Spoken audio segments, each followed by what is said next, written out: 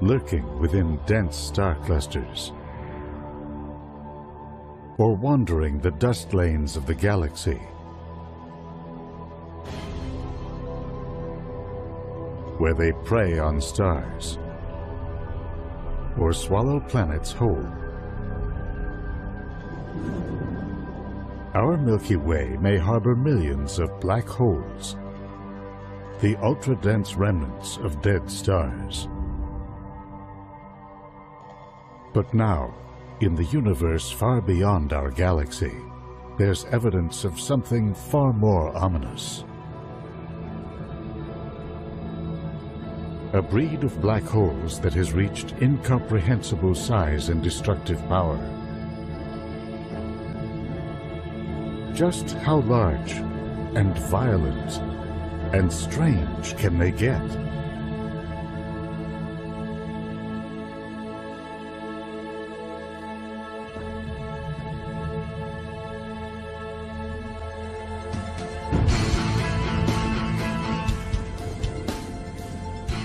A new era in astronomy has revealed a universe long hidden to us.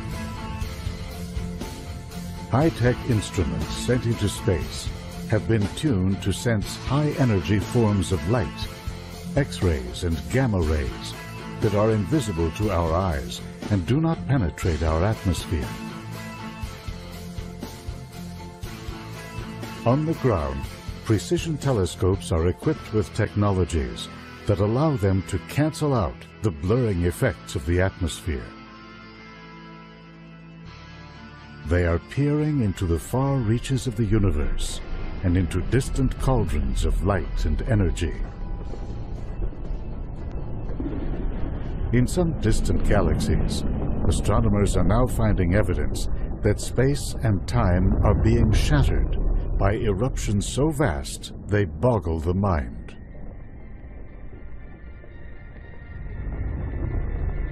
We are just beginning to understand the impact these outbursts have had on the universe, on the shapes of galaxies,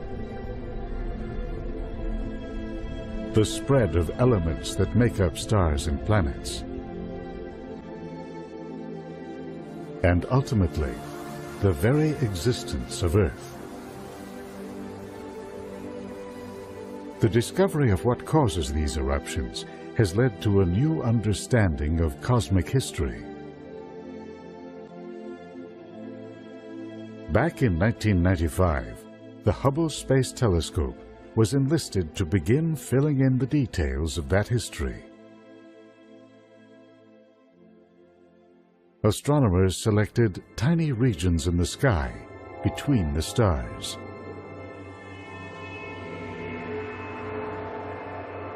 For days at a time, they focused Hubble's gaze on remote regions of the universe.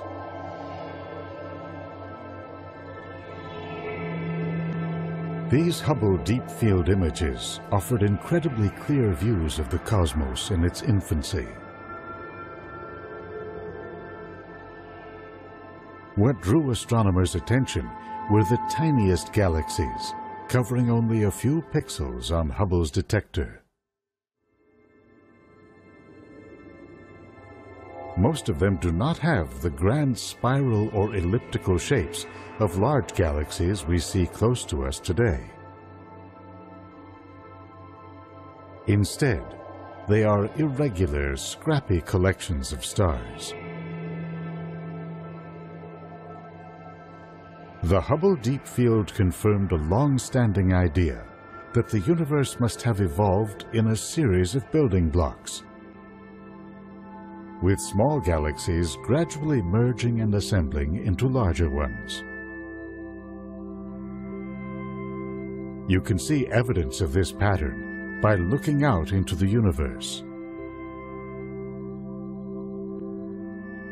Many galaxies are gyrating around one another. Some are crashing together, others ripping each other apart.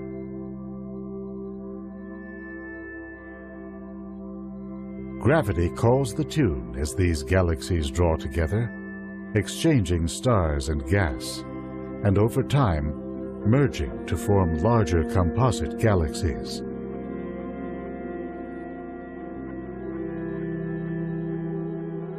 This came to be known as the hierarchical picture of cosmic history, in which the universe evolved from the ground up, with its structures growing larger and larger over time.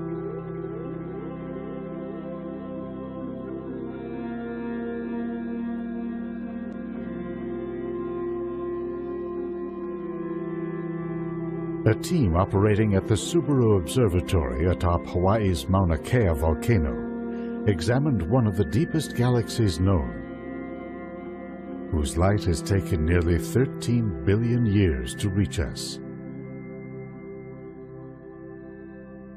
It was a messenger from a time not long after the universe was born. This object is known as a quasar, short for quasi-stellar radio source.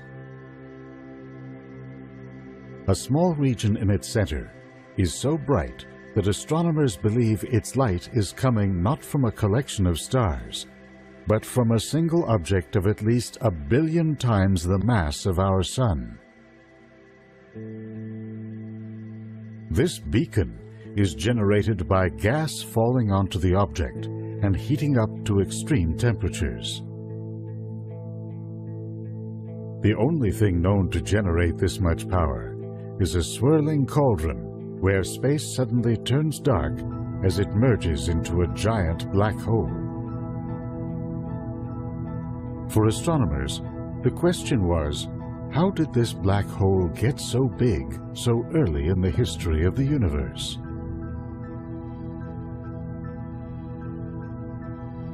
It likely got its start in an early generation of stars, often known as population 3 stars. Made up of hydrogen, they are thought to have been hundreds of times the mass of the Sun. These giant stars burned hot and fast and died young.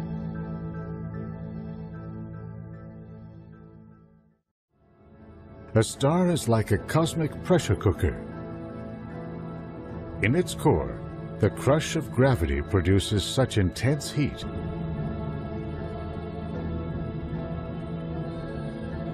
At the moment the star dies, if enough matter falls into its core, it can collapse to a point, forming a black hole.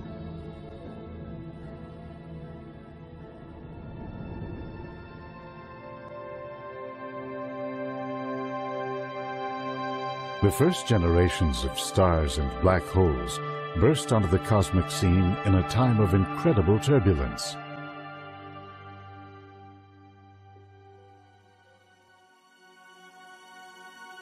Within primordial gas clouds, stars were being born in dense knots. They gave rise to black holes that began to swallow more and more matter.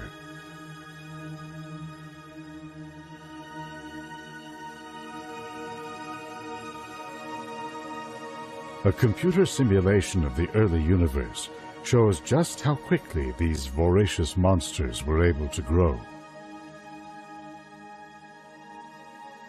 The project, by scientists at Carnegie Mellon University, was designed to recreate a region in the early universe that measured over a hundred million light years on a side. It shows what took place in the first one billion years of cosmic history.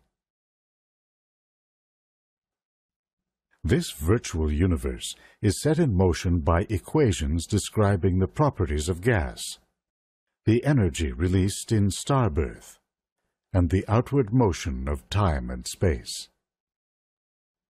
The result? An intricate cosmic web, with gravity drawing matter into filaments and knots like a vast tangle of interconnected spider's webs.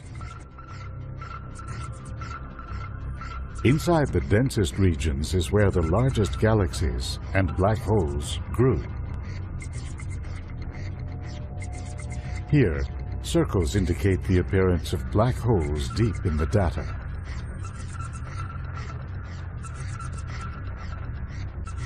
As they gain weight by eating up their surroundings, the circles grow larger. largest galaxies reach ultra-massive proportions, billions of times the mass of the Sun. These black holes were not just swallowing gas.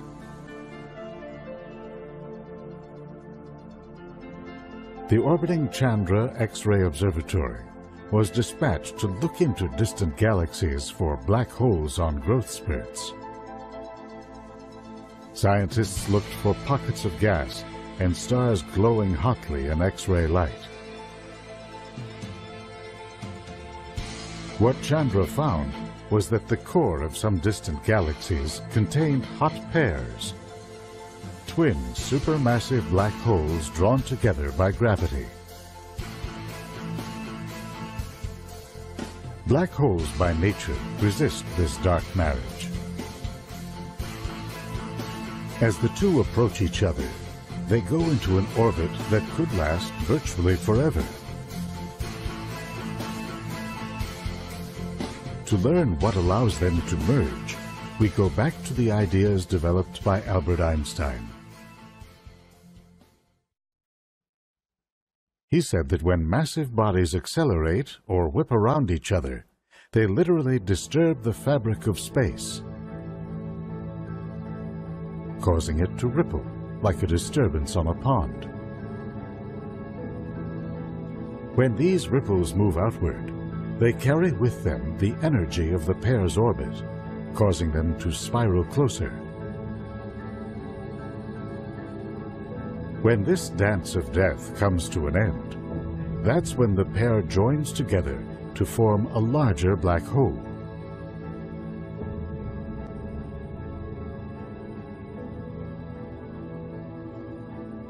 That moment may be approaching for a quasar called OJ-287 at three and a half billion light-years away.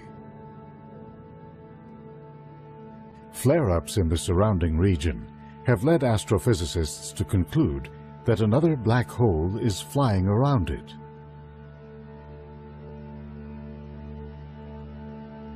By measuring the giant's gravitational hold on its companion, astronomers estimate its mass at 18 billion solar masses.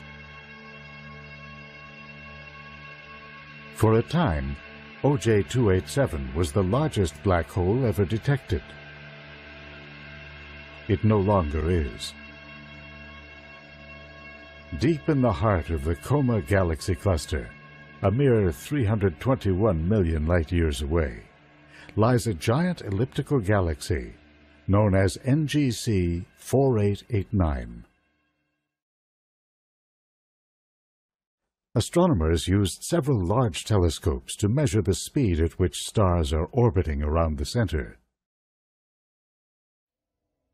They used that data to calculate the mass of the central object. A whopping 21 billion solar masses, give or take a few billion.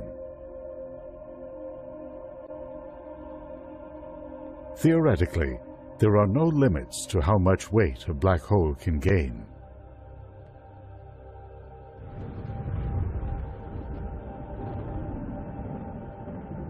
And yet, even the largest black holes, and their host galaxies, seem to obey limits.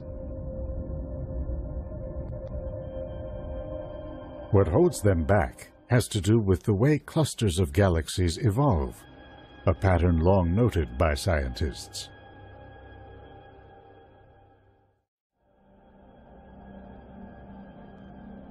This computer simulation shows the evolution of a galaxy cluster in the early universe. The gravity of the entire region draws small galaxies by the thousands, along with great streams of gas into the center. So why doesn't the central galaxy and the black hole that resides within it capture all this matter? Why don't they swallow the entire cluster? You can see the answer in a region called MS-0735. At two and a half billion light years away, it appears in visible light to be a typical galaxy cluster. In X-ray light, you can see that it's enveloped in a cloud of hot gas, measured at nearly 50 million degrees. Hollowed out of this cloud are two immense cavities, up to 600,000 light-years across. That's enough room in each to stuff 600 galaxies the size of our Milky Way. Now add in a radio image of the cluster. You can see two vast streams of matter pushing out from the center. That's a giveaway that the cavities were formed by an eruption in the core of the giant central galaxy. Two jets shooting out of a central black hole have launched blast waves that plowed through the gas that makes up the intergalactic medium.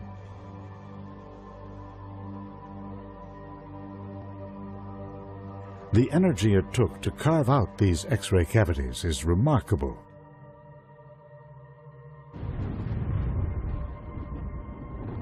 The equivalent of several billion supernovae, according to one calculation.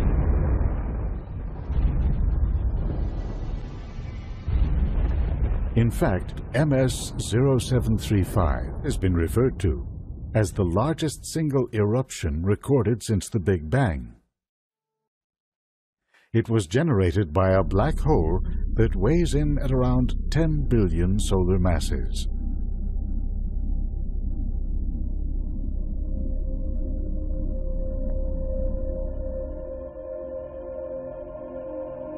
Black hole jets like this have been seen all around the universe, including in our own cosmic neighborhood.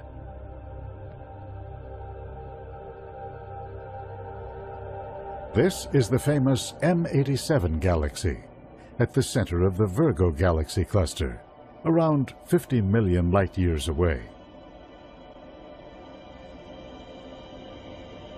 Astronomers have been intensively studying the black hole that lurks in its heart and recently estimated its mass at 6.6 billion solar masses.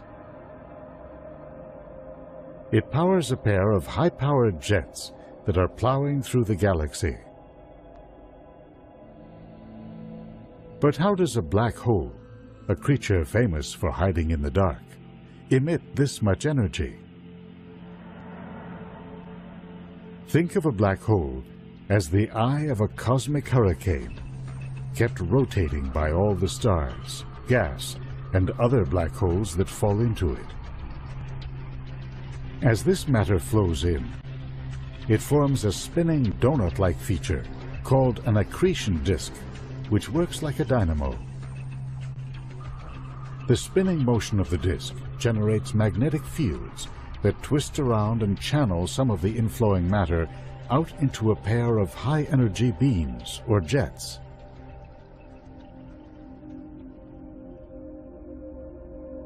How much energy depends on the black hole's gravity and how much matter has already crashed through the event horizon.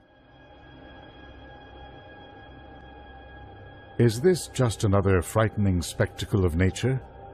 Or is it part of a more profound process at work? The largest black holes in the universe probably rose between 10 and 12 billion years ago, the age of the quasars.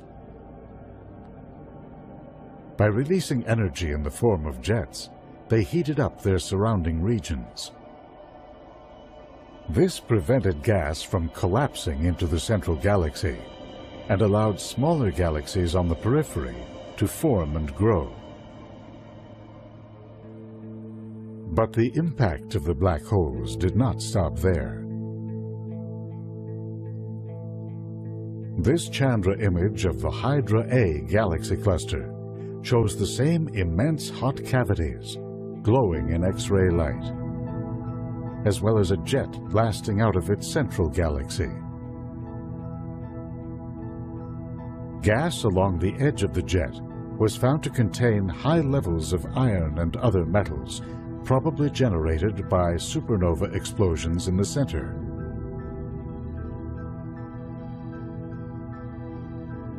By pushing these metals into regions beyond, a black hole seeded more distant galaxies with the elements needed to form stars and solar systems like ours. The black holes in these more remote galaxies then seeded their own environments.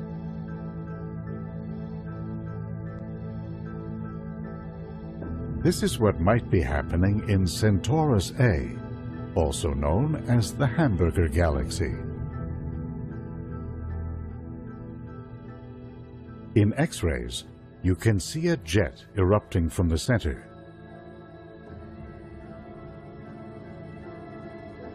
Peering through the dense dust lanes that dominate our line of sight, astronomers have come to believe that it's actually two galaxies in the act of colliding. This computer simulation shows the effect of such a merger on black holes. As the two galaxies pass by each other, the pull of gravity disrupts their spiral shapes, forcing huge volumes of gas into their cores.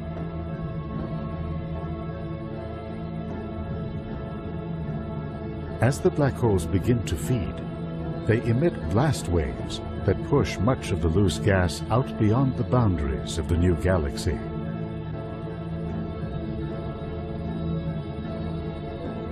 In the final steps of this cosmic dance, the two black holes merge and emit one final blast.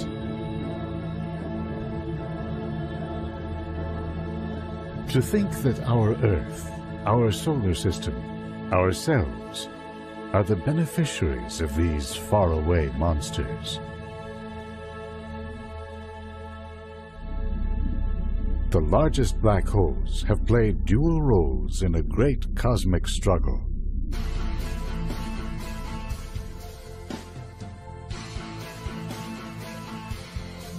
They are the product of gravity's relentless inward pull. The force that has drawn matter into galaxies, clusters, and the structures they form.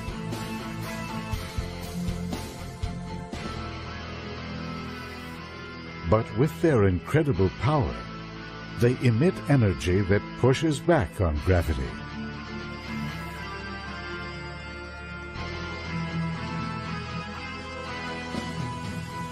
In so doing, these strange and powerful objects have become the master architects of space and time.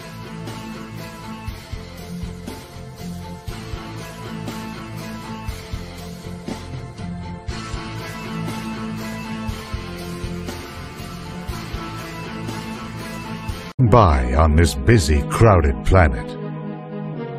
As life changes and evolves from second to second.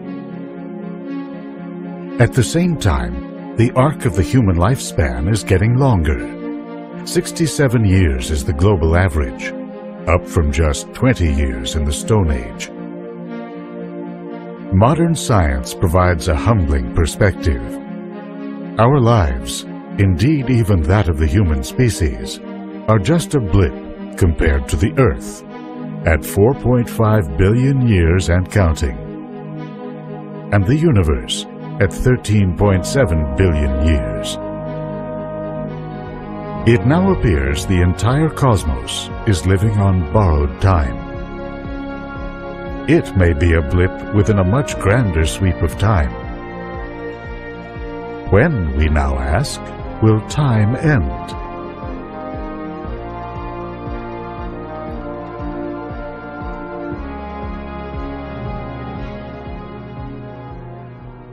Our lives are governed by cycles of waking and sleeping, the seasons, birth and death. Understanding time in cyclical terms connects us to the natural world, but it does not answer the questions of science.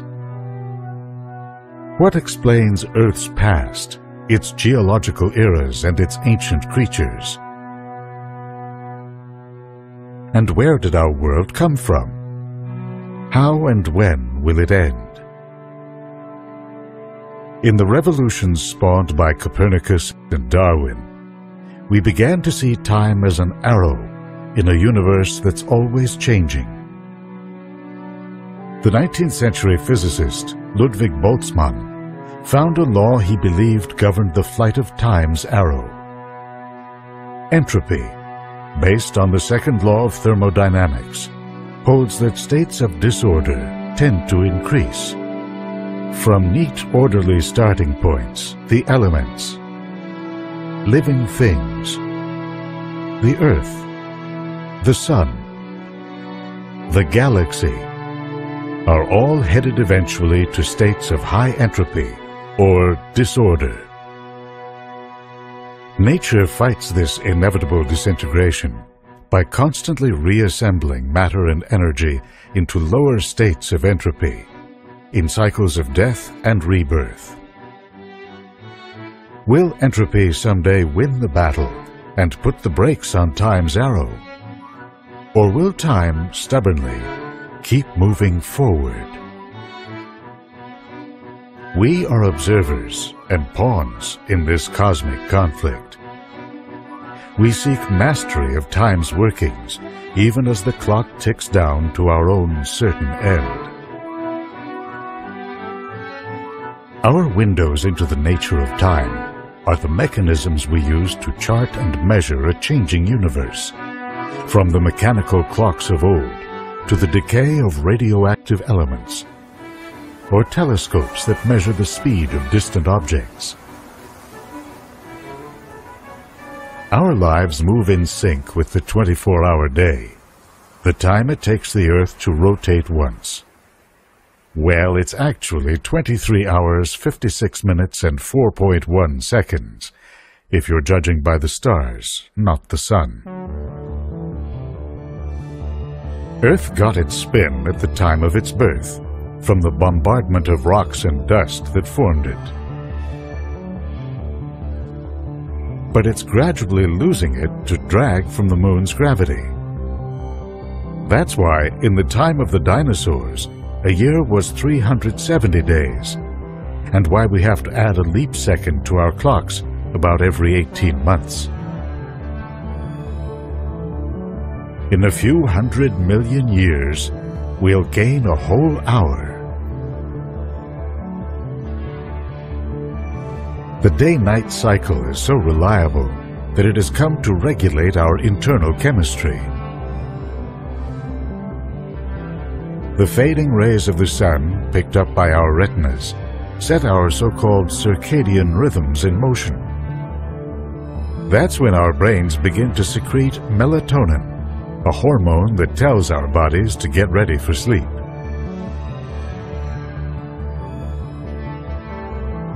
Finally, in the light of morning, the flow of melatonin stops. Our blood pressure spikes, body temperature and heart rate rise as we move out into the world. Our days and our lives are short in cosmic terms. But with our minds, we have learned to follow time's trail out to longer and longer intervals.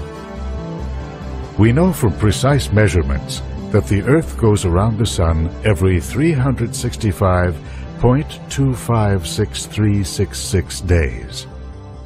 Much of the solar energy that hits our planet is reflected back to space or absorbed by dust and clouds. The rest sets our planet in motion. You can see it in the annual melting and refreezing of ice at the poles, in the ebb and flow of heat in the tropical oceans, or seasonal cycles of chlorophyll production in plants on land and at sea. These cycles are embedded in still longer Earth cycles. Ocean currents, for example, are thought to make complete cycles ranging from 4 to around 16 centuries. Moving out in time, as the Earth rotates on its axis, it makes a series of interlocking wobbles called Milankovitch cycles. They have been blamed for the onset of ice ages about every 100,000 years. Then there's the carbon cycle. Plants capture it from the air or the sea. It finds its way into soils or ocean sediments as plants decay or as waste passes out of the food chain.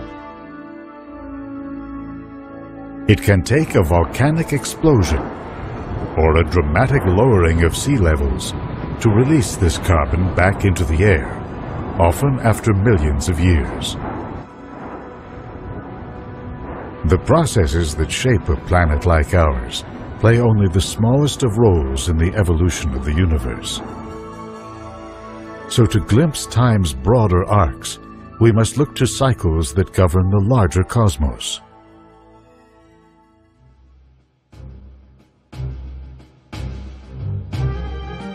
The reigning theory is that the universe began in a sudden expansion of space, the Big Bang.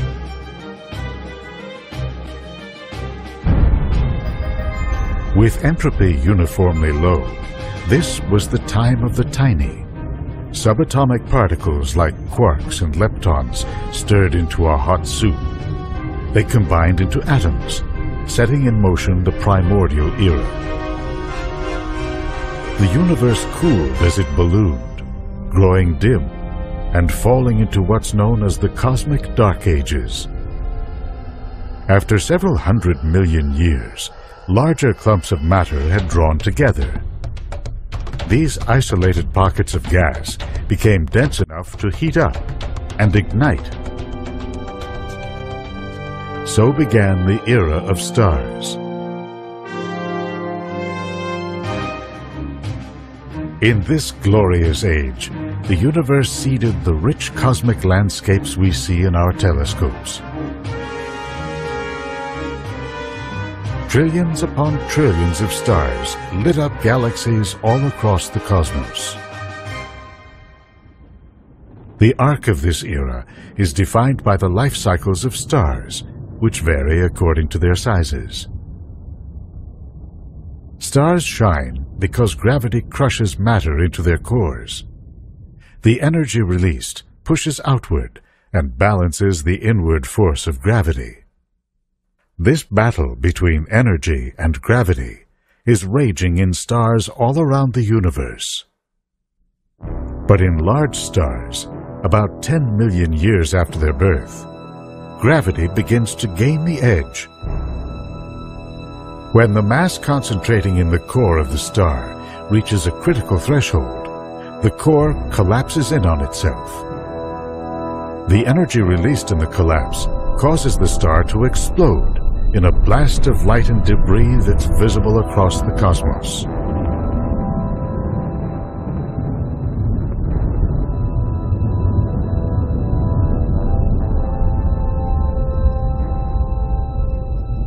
In the wake of this supernova, shock waves can cause nearby clouds of dust and gas to collapse and ignite to form generations of smaller stars like our Sun.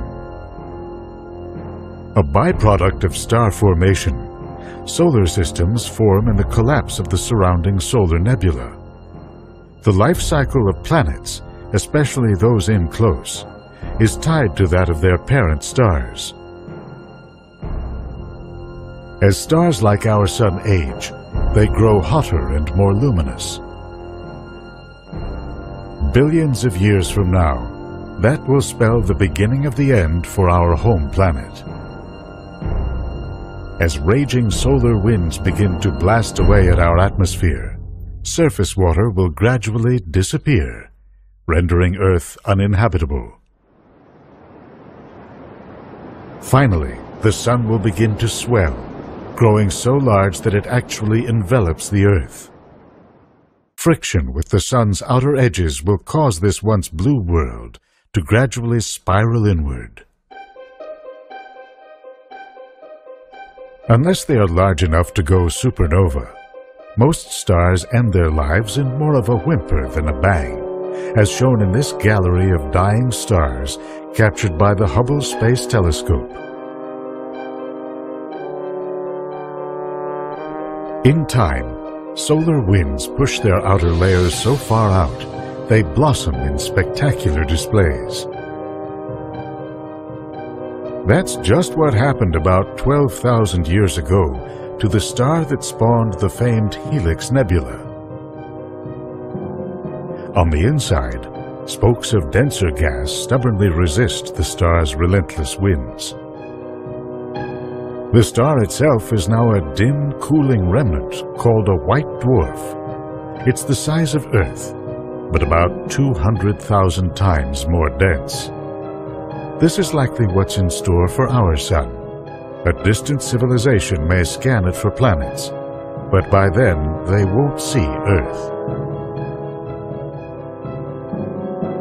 This battle between energy and gravity repeats in every corner of a galaxy like ours, with gravity drawing gas clouds into stars, and stars burning themselves out on a variety of timescales. In time, though, as the mass of the galaxy collects in successive generations of small stars, it will grow dimmer and dimmer. Some galaxies will see a temporary rebirth if their mass gets stirred up and combined with another. That's what's destined to happen to our Milky Way. At just about the time our Sun begins to swallow our planet, any remaining Earthlings will see the stars of the Andromeda Galaxy looming above the plane of our Milky Way. As shown in this simulation, the two are likely to tear each other apart. If it's a direct hit, the stars in both galaxies will gradually join together in a gigantic galactic puffball known as an elliptical galaxy.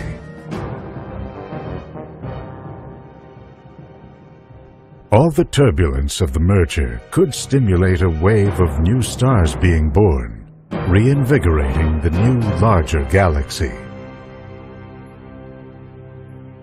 Dust-ups like this, in which galactic neighbors merge, will be common as the era of stars moves into its later stages.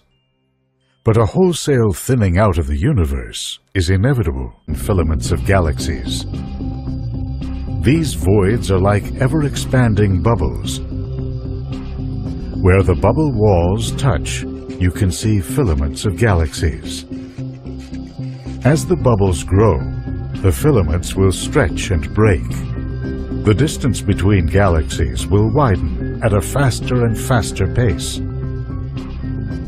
Eventually, no matter where you are in the universe, you will see only a few isolated clusters of galaxies huddled together, with little connection to anything else, and few clues to how they got there.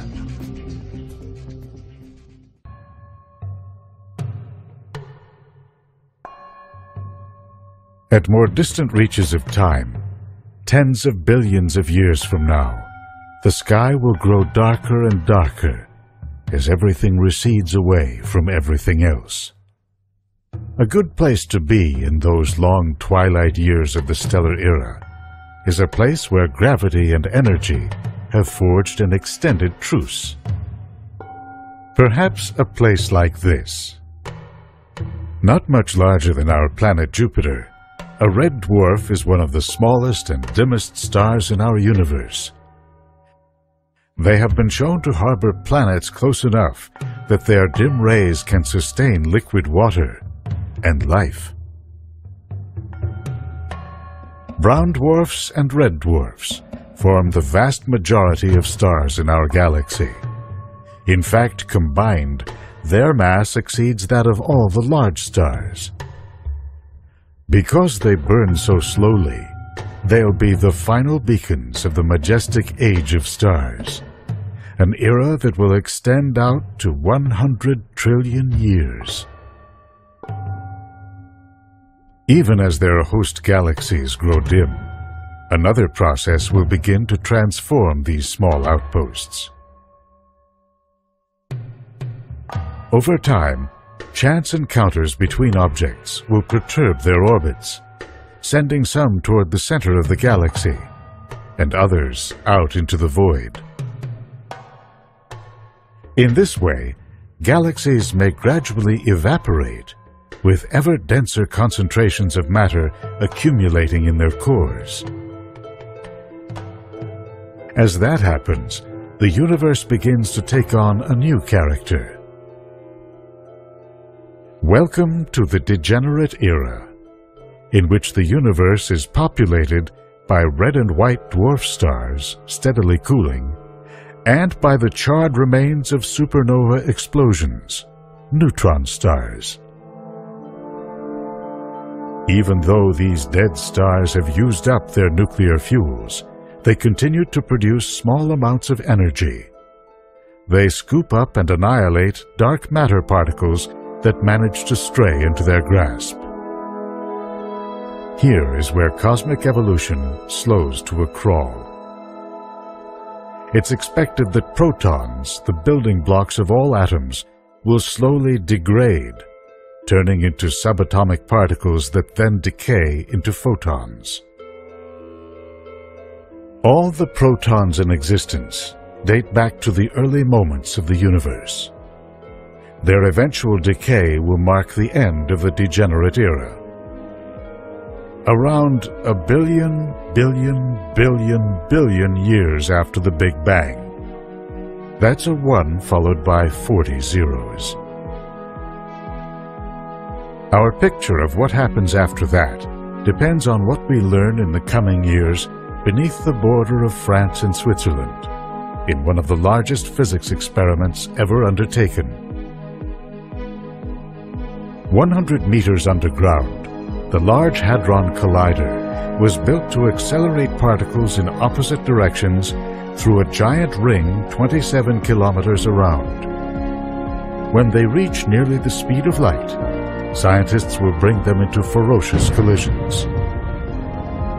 One goal, to define the final time horizons of our universe, as well as the final moments of its most persistent objects. Black holes, ranging from millions to tens of billions of times the mass of our Sun, occupy the centers of large galaxies today. As those galaxies age, over trillions of years of time, much of their mass will spiral toward the center and into the jaws of ever more ravenous black holes. Conceivably, these black holes could end up weighing as much as a galaxy. But when they finally stop growing, will they too be subject to the ravages of time? According to the physicist Stephen Hawking, the answer is yes. He proposed a theoretical process of decay that scientists are hoping to test in high-energy particle collisions at the Large Hadron Collider. The idea is that throughout our universe, particles of opposite charge constantly well up in the vacuum of space. They normally destroy each other. But when this happens at the event horizon of a black hole, one particle can be pulled in while the other escapes. That has the effect of slowly siphoning energy and mass from the hole. If this is true, then even black holes are eventually doomed. But finding out for sure is not easy. Creating a micro-black hole, it seems, will take more energy than any Earth-bound collider can pack. That is, unless there's more to nature and to gravity than we've thought. The key lies in whether the universe we know is part of a more complex cosmic reality beyond the three spatial dimensions, plus time, that we experience in our everyday lives we may be like an insect living on the two-dimensional surface of a pond, unaware of the deep and complex reality below it. It may be possible that an unseen extra dimension could intersect our world on an extremely tiny scale. According to some scientists, when particles collide at very high energies, the additional gravity needed to create a micro black hole could come from the extra dimension. They'll know a black hole is there when they see the shower of particles predicted by Hawking's theory. Its presence will open a brief window to a deeper cosmic reality, while shedding light on the ultimate future of our universe.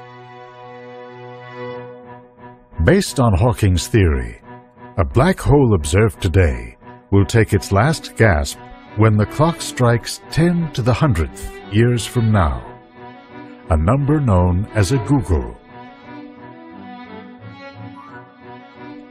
That's the end of the universe as we know it. But look beyond that to say 10 to the googol, a googolplex years.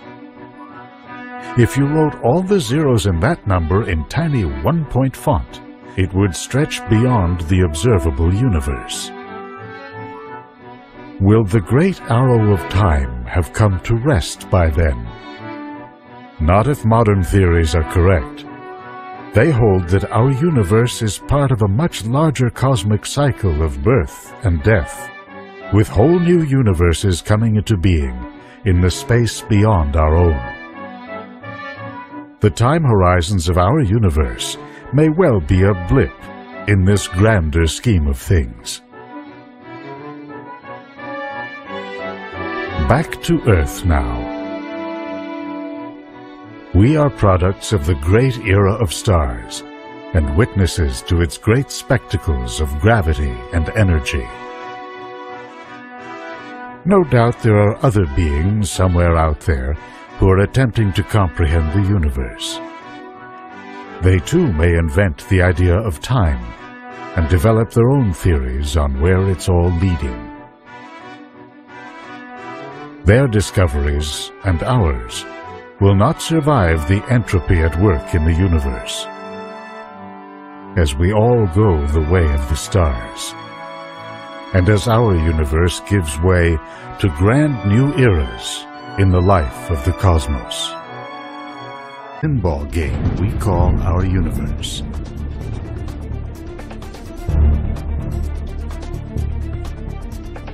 How does energy stitch the cosmos together? And how do we fit within it? We now climb the power scales of the universe. From atoms, nearly frozen to stillness, to Earth's largest explosions. From stars, colliding, exploding, to distant realms so strange and violent, they challenge our imaginations. Where will we find the most powerful objects in the universe?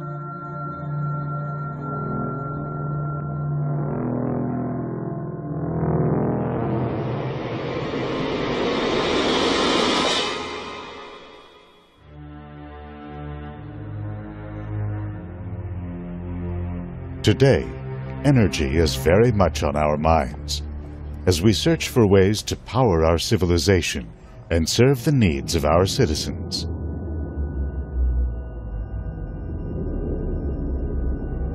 But what is energy?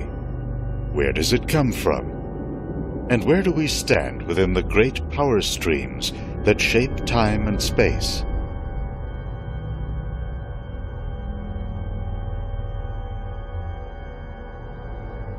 Energy comes from a Greek word for activity or working. In physics, it's simply the property or the state of anything in our universe that allows it to do work. Whether it's thermal,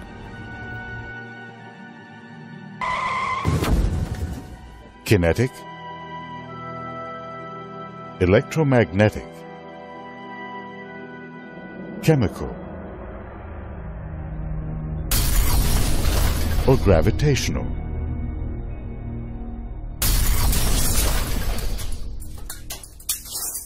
The 19th century German scientist Hermann von Helmholtz found that all forms of energy are equivalent, that one form can be transformed into any other.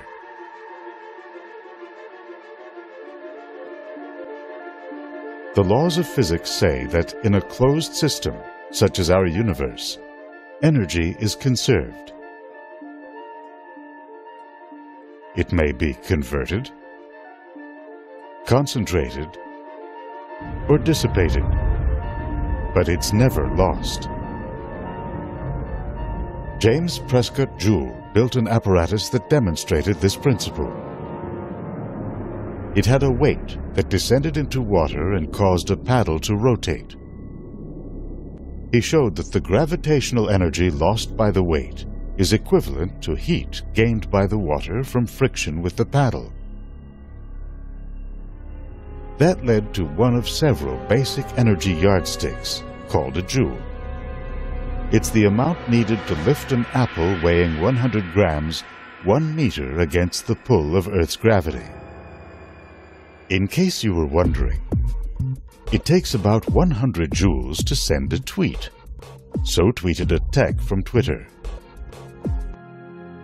The metabolism of an average-sized person going about their day generates about 100 joules a second,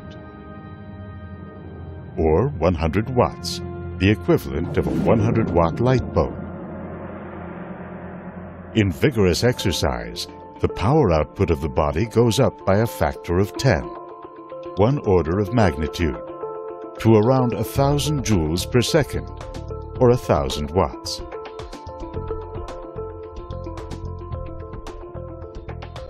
In a series of leaps by additional factors of 10, we can explore the full energy spectrum of the universe. So far, the coldest place observed in nature is the Boomerang Nebula. Here, a dying star ejected its outer layers into space at 600,000 kilometers per hour.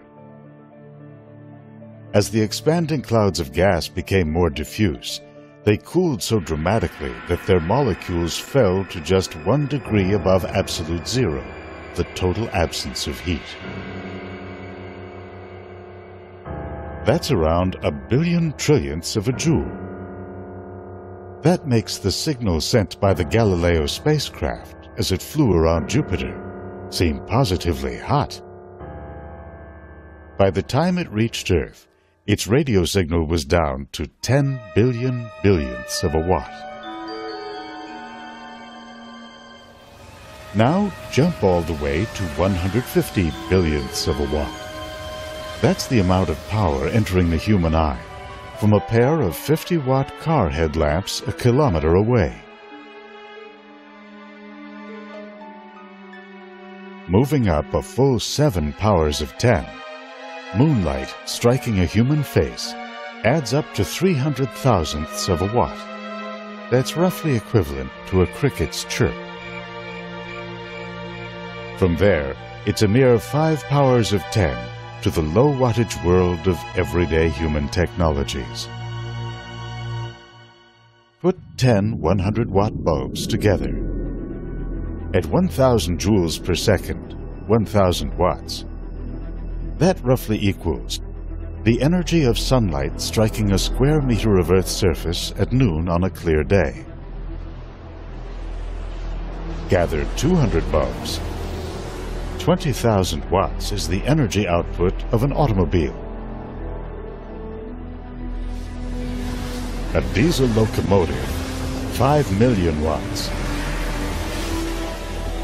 An advanced jet fighter, 75 million watts. An aircraft carrier, almost 200 million watts. The most powerful human technologies today function in the range of a billion to 10 billion watts, including large hydroelectric or nuclear power plants.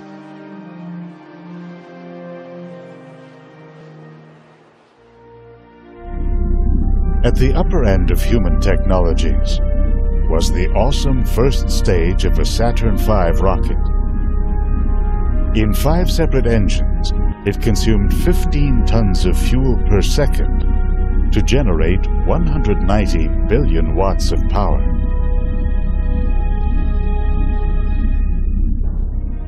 How much power can humanity marshal? And how much do we need? Long before the launch of the space age, visionaries began to imagine what it would take to advance into the community of galactic civilizations. In the 1960s, the Soviet scientist Nikolai Kardashev speculated that a level 1 civilization would acquire the technology needed to harness all the power available on a planet like Earth. According to one calculation, we are 0.16% of the way there. This is based on British Petroleum's estimate of total world oil consumption, some 11 billion tons in 2007.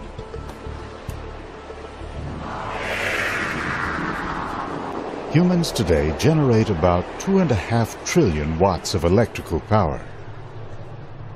How does that stack up to the power generated by planet Earth? Deep inside our planet, the radioactive decay of elements such as uranium and thorium generates 44 trillion watts of power. As this heat rises to the surface, it drives the movement of Earth's crustal plates and powers volcanoes. Remarkably, that's just a fraction of the energy released by a large hurricane in the form of rain. At the storm's peak, it can rise to 600 trillion watts. A hurricane draws upon solar heat collected in tropical oceans in the summer. You have to jump another power of 10 to reach the estimated total heat flowing through Earth's atmosphere and oceans from the equator to the poles. And another 2 to get the power received by the Earth from the Sun at 174 quadrillion watts. Believe it or not, there's one human technology that has exceeded this level. The AN-602 hydrogen bomb was detonated by the Soviet Union on October 30th, 1961. It unleashed some 1,400 times the combined power of the Nagasaki and Hiroshima bombs. With a blast yield of up to 57 million tons of TNT, it generated 5.3 trillion trillion watts, if only for a tiny fraction of a second. That's 5.3 yottawatts, a term that will come in handy as we now begin to ascend the power scales of the universe. To Nikolai Kardashev, a level 2 civilization would achieve a constant energy output 80 times higher than the Russian superbomb. That's equivalent to the total luminosity of our Sun, a medium-sized star that emits 375 yottawatts. However, in the grand scheme of things, our Sun is but a cold spark in a hot universe. Look up into southern skies, and you'll see the Large Magellanic Cloud, a satellite galaxy of our Milky Way. Deep within is the brightest star yet discovered. R136A1 is 10 million times brighter than the Sun. Now if that star happened to go supernova, at its peak, it would blast out photons with a luminosity of around 500 billion yottawatts. To advance to a level 3 civilization, you have to marshal the power of an entire galaxy. The Milky Way, with about 200 billion stars, has an estimated total luminosity of 3 trillion yottawatts. A 3 followed by 36 zeros.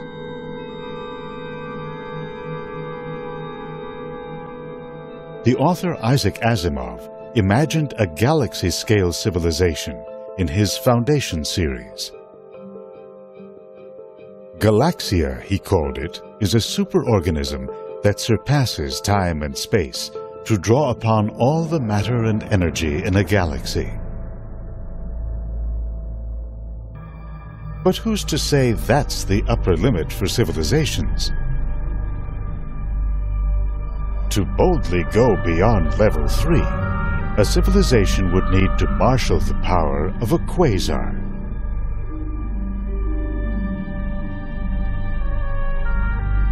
A quasar is about a thousand times brighter than our galaxy. Here is where cosmic power production enters a whole new realm, based on the physics of extreme gravity. It was Isaac Newton who first defined gravity as the force that pulls the apple down and holds the Earth in orbit around the Sun. Albert Einstein redefined it in his famous general theory of relativity. Gravity isn't simply the attraction of objects like stars and planets, he said, but a distortion of space and time, what he called space-time. What totally dark object can do this has been narrowed by decades of observations and theory. If a black hole spins, it can turn into a violent cosmic tornado. Gas and stars begin to flow in along a rapidly rotating disk. The spinning motion of this so-called accretion disk generates magnetic fields that twist up and around. These fields can channel some of the inflowing matter out into a pair of high-energy beams, or jets. Gas and dust nearby catch the brunt of this energy, growing hot and bright enough to be seen billions of light years away. Amazingly, the power of a black hole can rise to even greater extremes at the moment of its birth.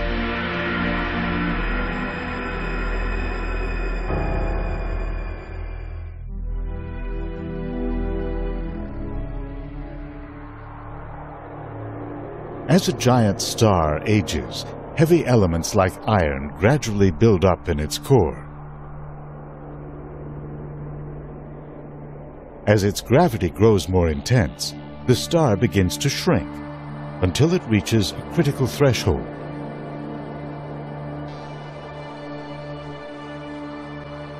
Its core literally collapses in on itself.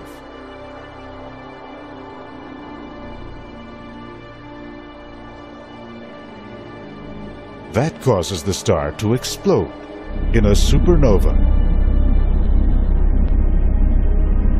And now, in death, the star can unleash gravity's true fury.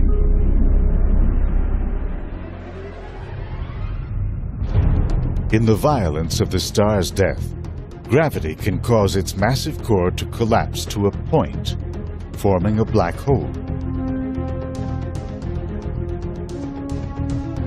In some rare cases, the newborn monster powers a jet that accelerates to within a tiny fraction of the speed of light.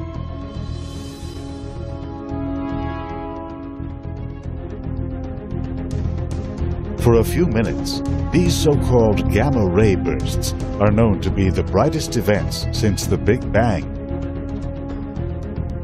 Three orders of magnitude above a quasar at a billion billion yottawatts, a 10 with 42 zeros.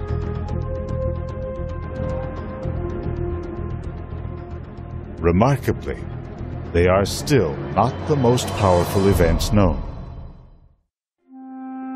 Albert Einstein's equations contained an astonishing prediction. That when massive bodies accelerate or whip around each other, they can stir up the normally smooth fabric of space-time. They produce a series of waves that move outward, like ripples on a pond.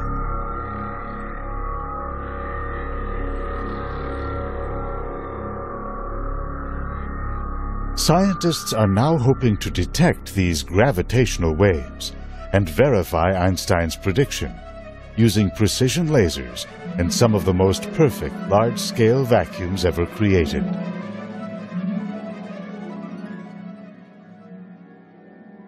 At the Laser Interferometer Gravitational Wave Observatory, known as LIGO, they are hoping to record the collision of ultra-dense remnants of dead stars known as neutron stars and of black holes.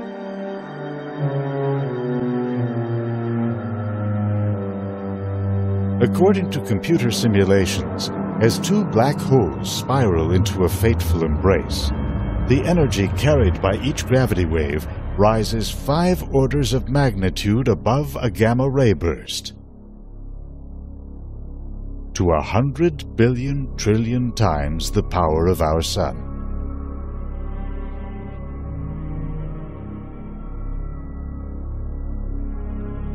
Does the collision of black holes define the known power limits of our universe?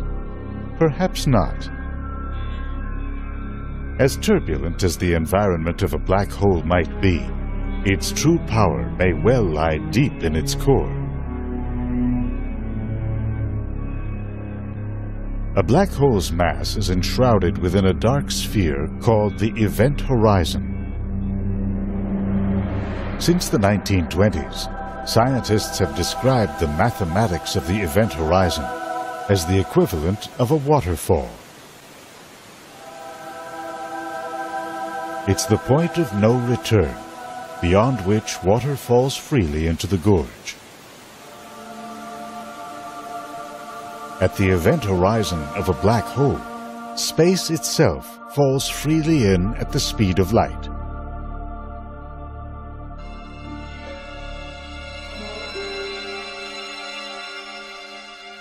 If the black hole is spinning, then the flow spirals down and around an inner horizon that envelops the singularity. That's the central region where space-time becomes infinitely warped.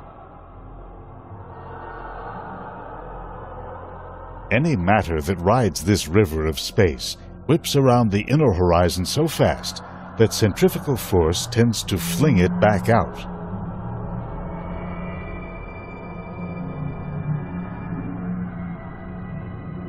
As that happens, it collides with matter that's streaming in, whipping up a ferocious cosmic storm.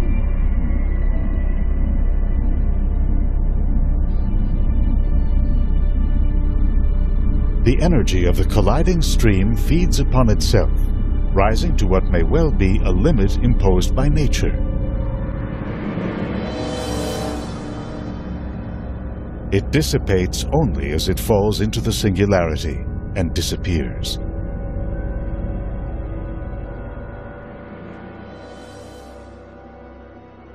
Fortunately for us, gravity walls off such energy extremes behind the event horizon, where they cannot affect the rest of the universe.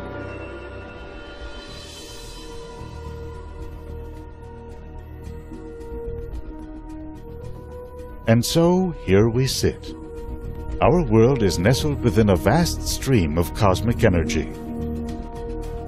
Somewhere between the spin of an electron and the maelstrom of a black hole. There's no telling whether a future Earth civilization will be able to harness enough energy to advance into the cosmos.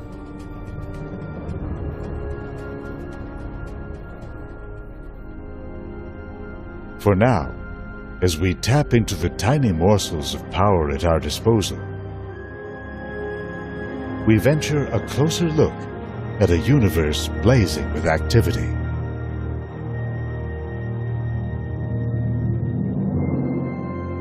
We are its product.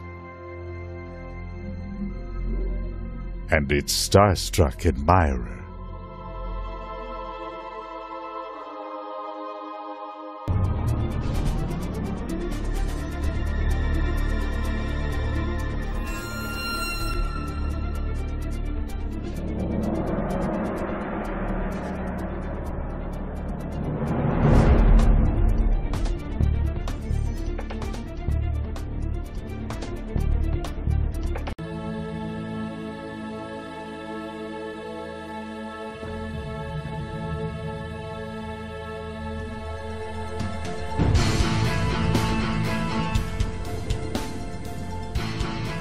Era in astronomy has revealed a universe long hidden to us. High-tech instruments sent into space have been tuned to sense high-energy forms of light, X-rays and gamma rays that are invisible to our eyes and do not penetrate our atmosphere. On the ground, precision telescopes are equipped with technologies that allow them to cancel out the blurring effects of the atmosphere. They are peering into the far reaches of the universe and into distant cauldrons of light and energy. In some distant galaxies, astronomers are now finding evidence that space and time are being shattered by eruptions so vast they boggle the mind.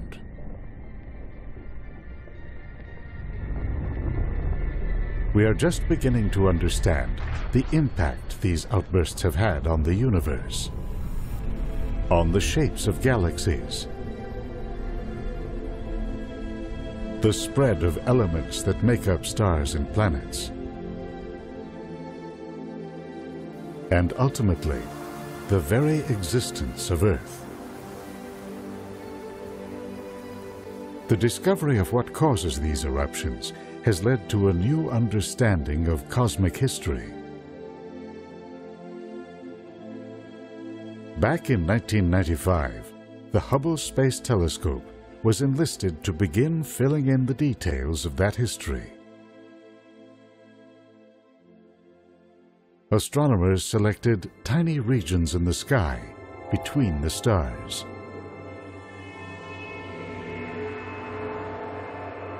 For days at a time, they focused Hubble's gaze on remote regions of the universe.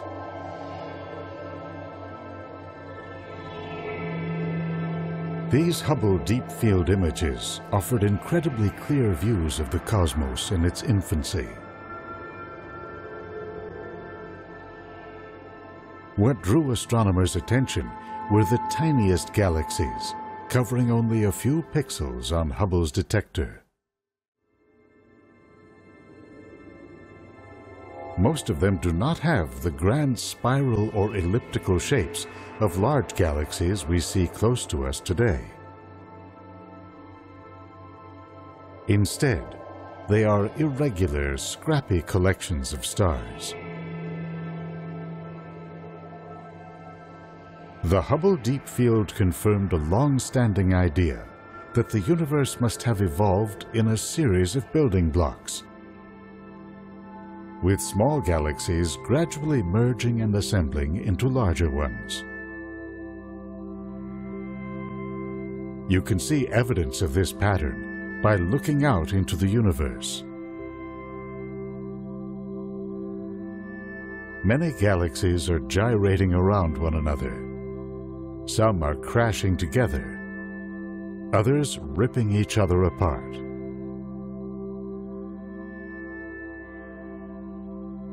Gravity calls the tune as these galaxies draw together, exchanging stars and gas, and over time, merging to form larger composite galaxies.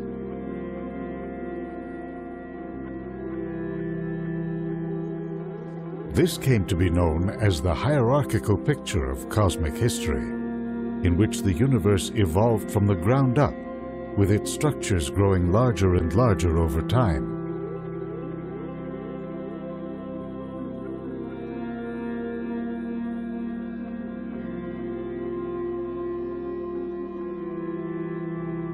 A team operating at the Subaru Observatory atop Hawaii's Mauna Kea volcano examined one of the deepest galaxies known, whose light has taken nearly 13 billion years to reach us. It was a messenger from a time not long after the universe was born. This object is known as a quasar, short for quasi-stellar radio source. A small region in its center is so bright that astronomers believe its light is coming not from a collection of stars, but from a single object of at least a billion times the mass of our Sun. This beacon is generated by gas falling onto the object and heating up to extreme temperatures. The only thing known to generate this much power is a swirling cauldron where space suddenly turns dark as it merges into a giant black hole.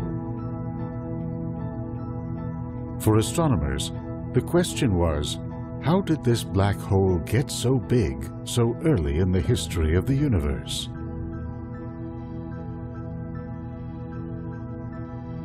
It likely got its start in an early generation of stars, often known as population 3 stars. Made up of hydrogen, they are thought to have been hundreds of times the mass of the Sun. These giant stars burned hot and fast and died young.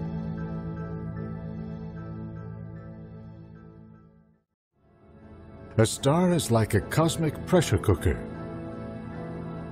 In its core, the crush of gravity produces such intense heat that atoms are stripped and rearranged.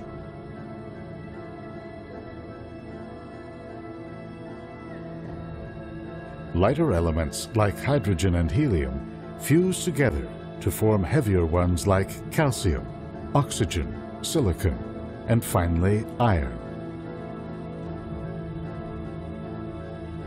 When enough iron accumulates in the core of the star, it begins to collapse of its own weight. That can send a shock wave racing outward that literally blows the star apart in a supernova.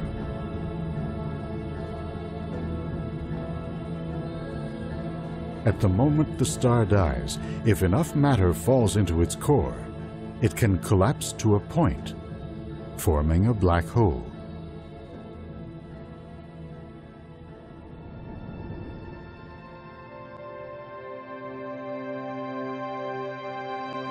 The first generations of stars and black holes burst onto the cosmic scene in a time of incredible turbulence.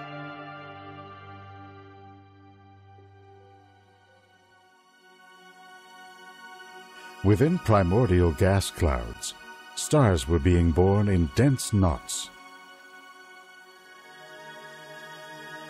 They gave rise to black holes that began to swallow more and more matter.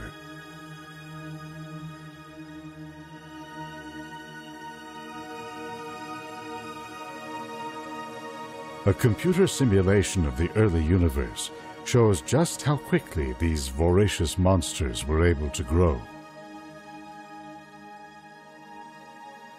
The project, by scientists at Carnegie Mellon University, was designed to recreate a region in the early universe that measured over a hundred million light years on a side.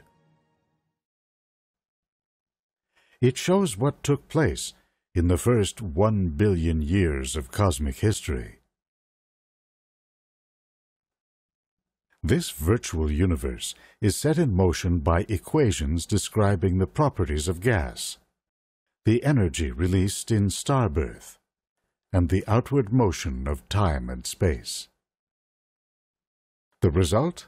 An intricate cosmic web with gravity drawing matter into filaments and knots, like a vast tangle of interconnected spiders' webs. Inside the densest regions is where the largest galaxies and black holes grew. Here, circles indicate the appearance of black holes deep in the data.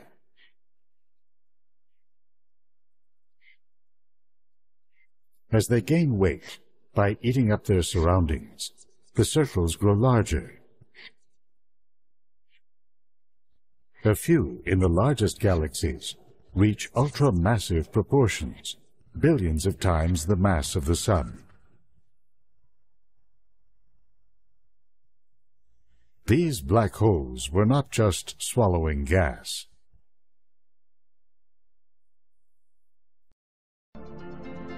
The orbiting Chandra X-ray Observatory was dispatched to look into distant galaxies for black holes on growth spurts.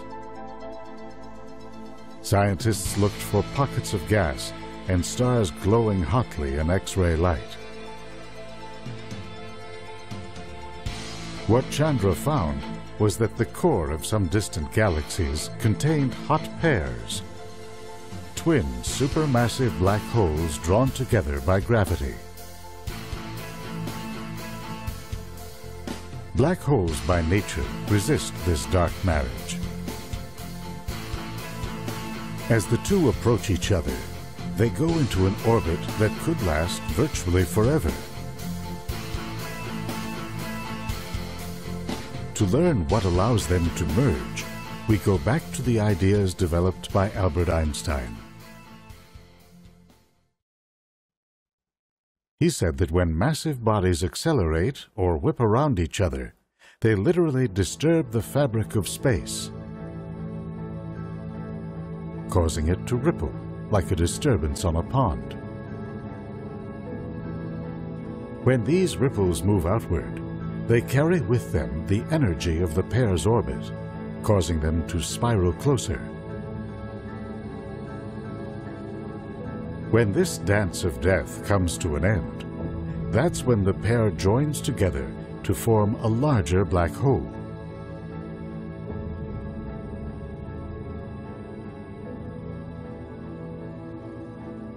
That moment may be approaching for a quasar called OJ-287 at three and a half billion light-years away. Flare-ups in the surrounding region have led astrophysicists to conclude that another black hole is flying around it.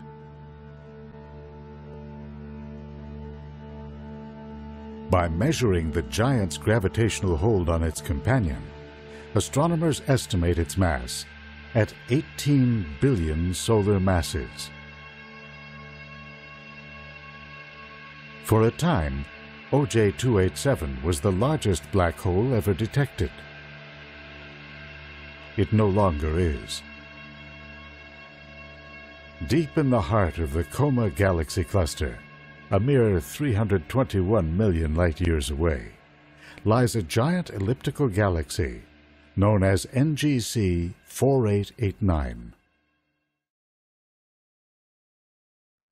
Astronomers used several large telescopes to measure the speed at which stars are orbiting around the center. They used that data to calculate the mass of the central object. A whopping 21 billion solar masses, give or take a few billion. Theoretically, there are no limits to how much weight a black hole can gain.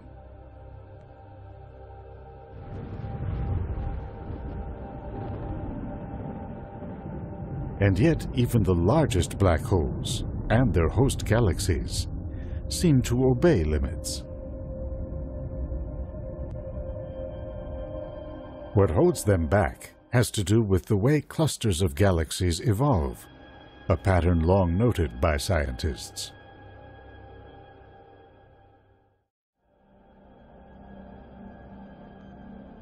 This computer simulation shows the evolution of a galaxy cluster in the early universe. The gravity of the entire region draws small galaxies by the thousands, along with great streams of gas into the center. So why doesn't the central galaxy and the black hole that resides within it capture all this matter why don't they swallow the entire cluster? You can see the answer in a region called MS0735. At two and a half billion light years away, it appears in visible light to be a typical galaxy cluster. In X-ray light, you can see that it's enveloped in a cloud of hot gas measured at nearly 50 million degrees. Hollowed out of this cloud are two immense cavities up to 600,000 light years across. That's enough room in each to stuff 600 galaxies the size of our Milky Way. Now add in a radio image of the cluster. You can see two vast streams of matter pushing out from the center. That's a giveaway that the cavities were formed by an eruption in the core of the giant central galaxy. Two jets shooting out of a central black hole have launched blast waves that plowed through the gas that makes up the intergalactic medium.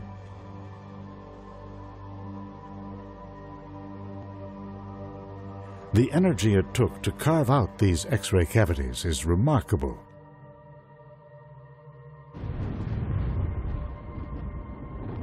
the equivalent of several billion supernovae, according to one calculation.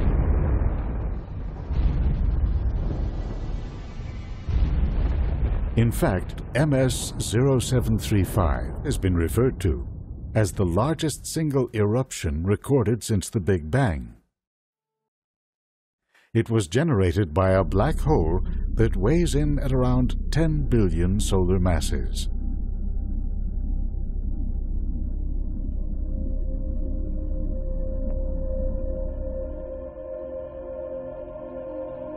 Black hole jets like this have been seen all around the universe, including in our own cosmic neighborhood.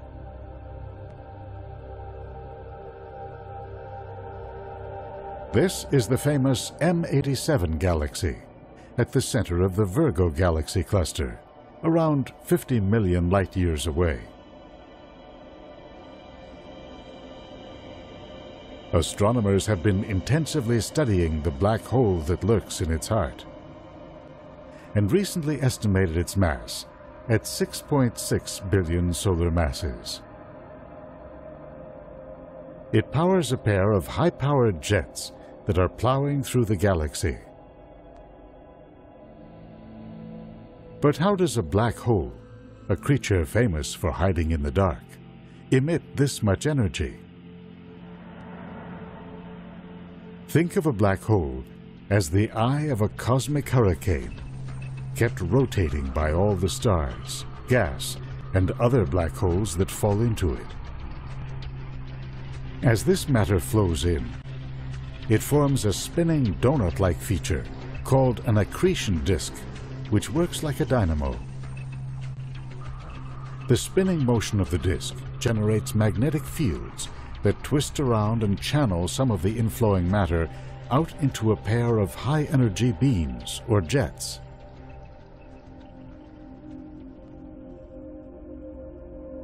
How much energy depends on the black hole's gravity and how much matter has already crashed through the event horizon.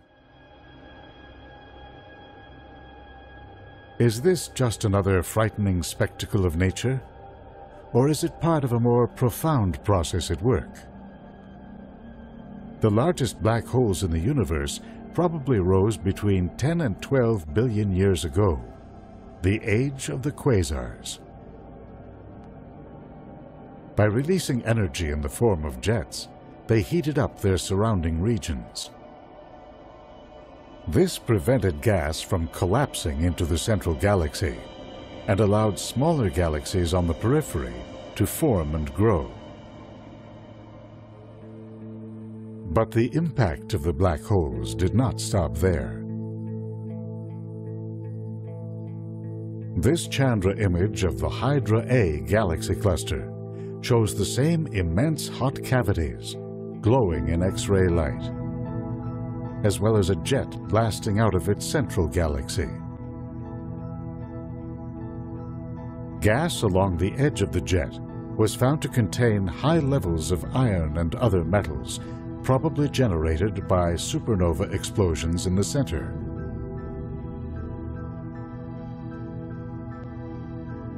By pushing these metals into regions beyond, a black hole seeded more distant galaxies, with the elements needed to form stars in solar systems like ours. The black holes in these more remote galaxies then seeded their own environments.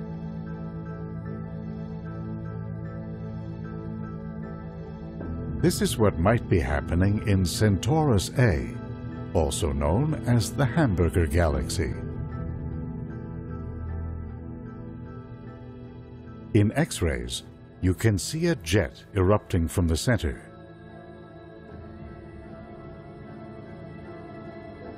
Peering through the dense dust lanes that dominate our line of sight, astronomers have come to believe that it's actually two galaxies in the act of colliding. This computer simulation shows the effect of such a merger on black holes. As the two galaxies pass by each other, the pull of gravity disrupts their spiral shapes, forcing huge volumes of gas into their cores.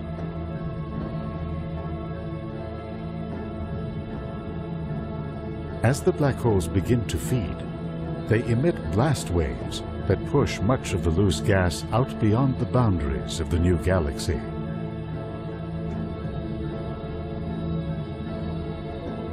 In the final steps of this cosmic dance, the two black holes merge and emit one final blast.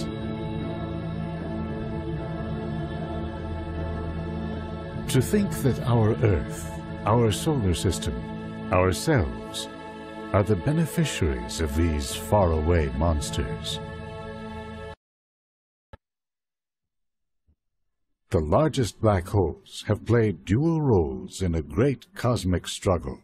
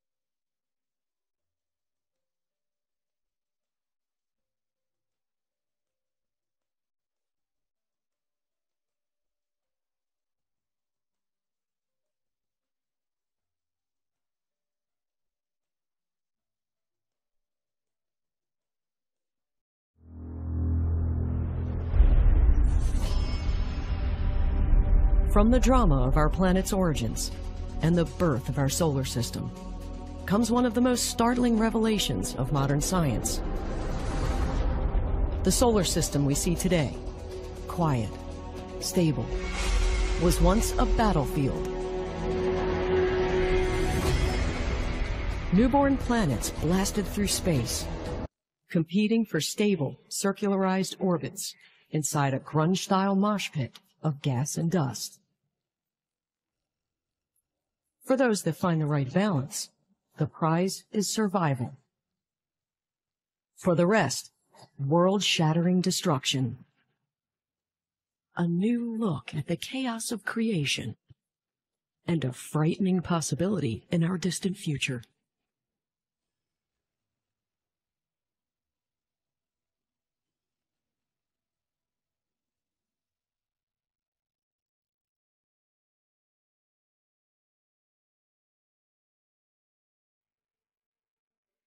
Mars. The Curiosity rover is searching for clues about the origins of the red planet.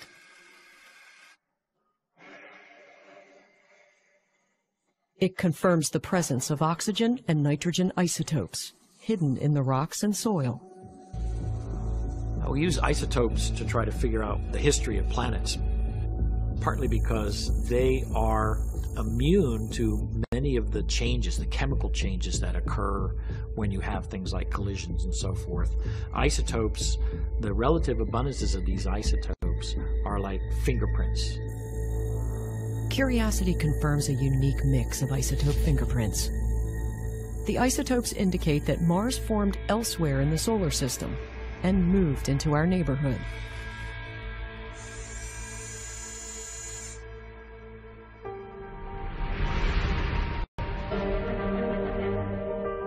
Our solar system is full of oddities pointing to an imperfect birth and a malformed evolution.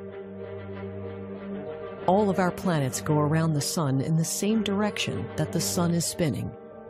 This is the same direction that the clouds within our original nebula began to rotate. Six planets spin around their poles in the same direction. For them, the Sun rises in the east and sets in the west.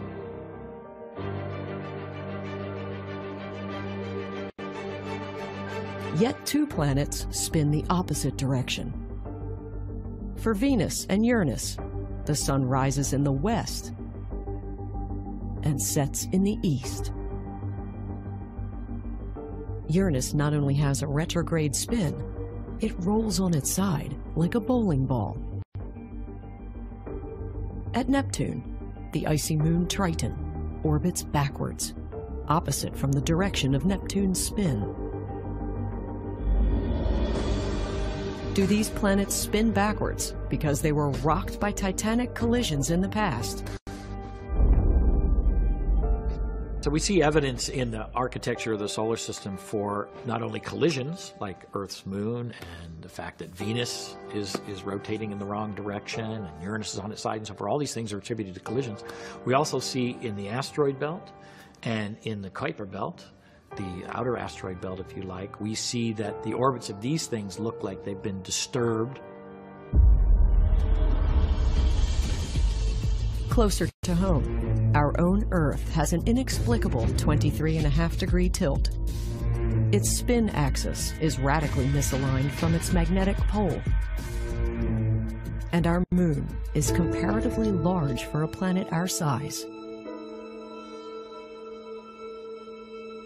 Now, a new theory may be able to explain many of these oddities. It is called the Grand Tack Hypothesis.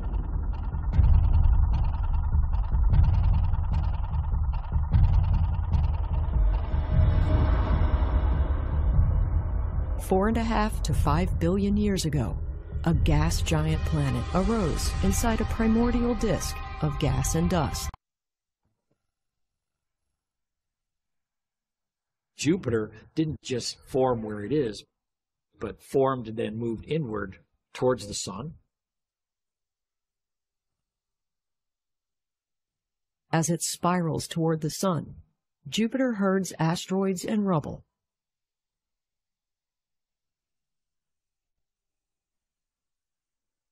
Jupiter's natural tendency is to drift in slowly through this debris field that it's traveling around.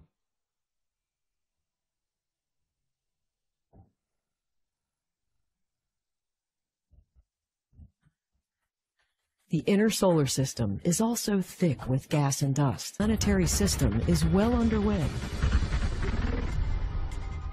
Numerous worlds are born in this region, including the Earth. Primordial skies are ruled by chaos.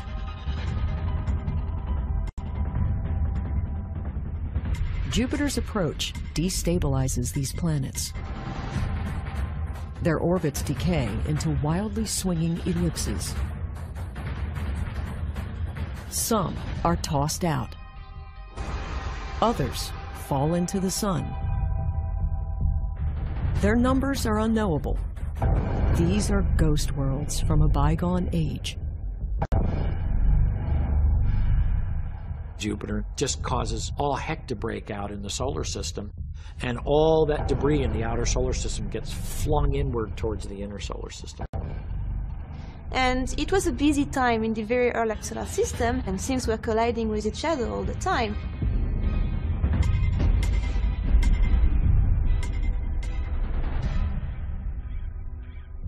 And then it stopped.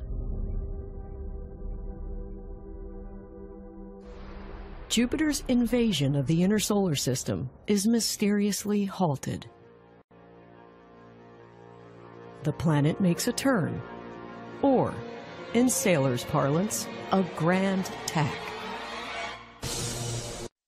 Lurking behind Jupiter is a second gas giant, Saturn. So as Jupiter was migrating inward, Saturn was following it and growing.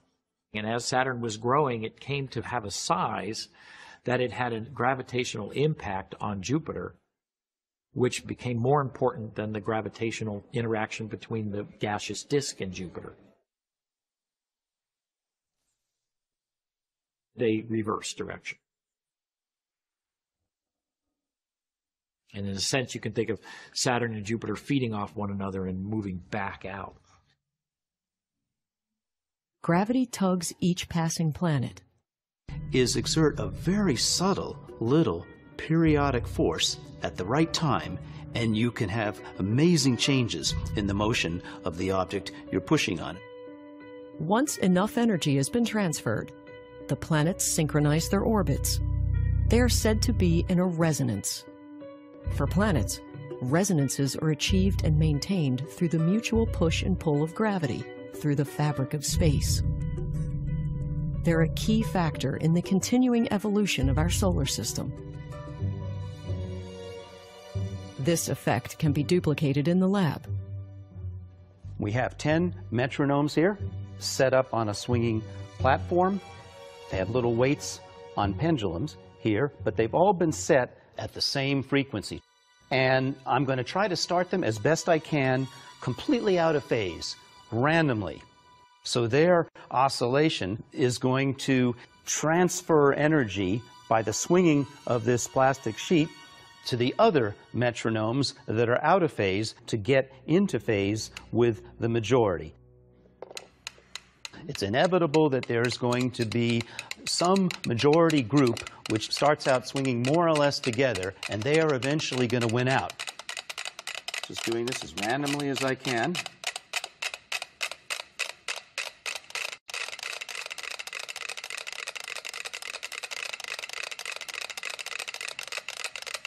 Aha, maybe in this corner I see four that are pretty closely synced. Yes, now it's more like five, six. Now you have one that's almost completely out of phase. So every time the majority hits a beat, it's going to give a little impulse, a little push to the platform, and that push is transferred to the metronome that's not in sync. Because the platform, you can actually see this platform vibrating back and forth in sync with the majority of these metronomes. Working on this one. We're pretty close to resonance right now. As the metronomes achieve resonance, it's important to notice how the platform shakes Now, it doesn't have to just be the force that's being transmitted by the plastic platform. It could be a force at a great distance, for example, the force of gravity. Just these small, little, seemingly insignificant pushes building up over multiple cycles can have dramatic energy transfer. That is how planets do it. Like the metronomes, the two gas giants form a resonance. We don't know exactly how long that took, but we have some fiducial marks for timing in the solar system formation, and that means that the grand tack had to have occurred relatively quickly, talking uh, hundreds of thousands of years, perhaps, to million years. The two planets retreat until they reach their current positions. The sequence of planets as we find them today is based on Jupiter and Saturn's orbits. The planets eventually achieve a sequencing that many students learn through a mnemonic, such as, My very educated mother just served us nine pizzas. Was there a time when the mnemonic was scrambled? Seems very likely the answer is yes, not to mention a lot of additional letters were probably in there as well. Jupiter's menace of the inner solar system is finally over. If Saturn had not formed at the right time and the sufficient size, Jupiter would have continued migrating in, throwing out objects, unfortunate objects in the inner solar system, and ending up very close to the sun where it would stay. Yes, the Earth would be gone. Or the Earth would have had a, a terrifying encounter with Jupiter and would have been had its orbit changed dramatically to gosh knows what. There is mounting evidence that Earth had a terrifying visitor. Not Jupiter, but Theia was this planetary body that was roughly the size of Mars. And through this uh, collision, a lot of particles were ejected, probably completely destroyed. We don't really know how much of Theia was preserved. Probably completely destroyed. We don't really know how much of Theia was preserved. Earth is rocked off its axis. Its surface liquefied. Chunks of Earth's mantle are shoved into space.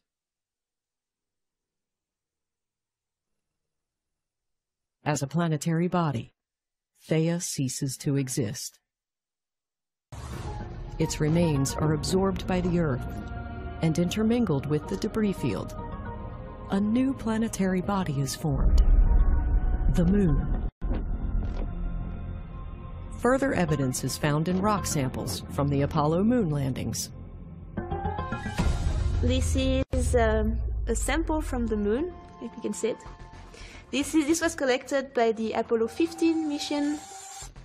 Moon rocks contain isotopes identical to those found on Earth. When the moon arose, it is first covered with a magma ocean. People imagine the lunar magma ocean to be like this magmatic chamber I am describing, but at the surface and covering a whole planet. I see it as this ocean, like the Pacific, but this has to be like completely magmatic, orange, and like probably like fluxing around and probably moving. Conditions in the lunar magma are as hellish as we can imagine. But a microscopic treasure forms in the magma crystal zircons. These are the same gemstones used in jewelry, but the zircons in the Apollo moon rocks yield a different treasure. So those zircon are very important because we know they crystallize in this lunar magma ocean. We know roughly when they crystallize in the lunar magma ocean. So they are one of these old pieces of the moon that we are looking for, one of these old pieces that we can use to, to date the origin of the moon. Zircons not only give the age of the moon, they set a specific date for the collision. The age of the moon is 4.51 billion years old. 4.51 billion years ago, Theia becomes part of Earth and forms the moon. But the story is not over. Space probes measure the moon slipping 3.8 centimeters further away each year. One day, the moon will break free. When that day comes, there will be no more tides, no more romantic moonlit nights. Could planetary orbits be inherently unstable? Could the chaos of planetary migration return?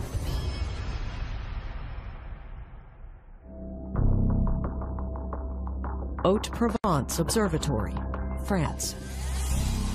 It's here that a discovery from a faraway star gives one of the biggest revelations about our own solar system. The story begins when Swiss astronomers Didier Queloz and Michel Mayor noticed something unusual about a star 50 light years away in the constellation of Pegasus. Everything about this star is ordinary. A main sequence mid-life yellow dwarf, just like our sun, but with one strange difference.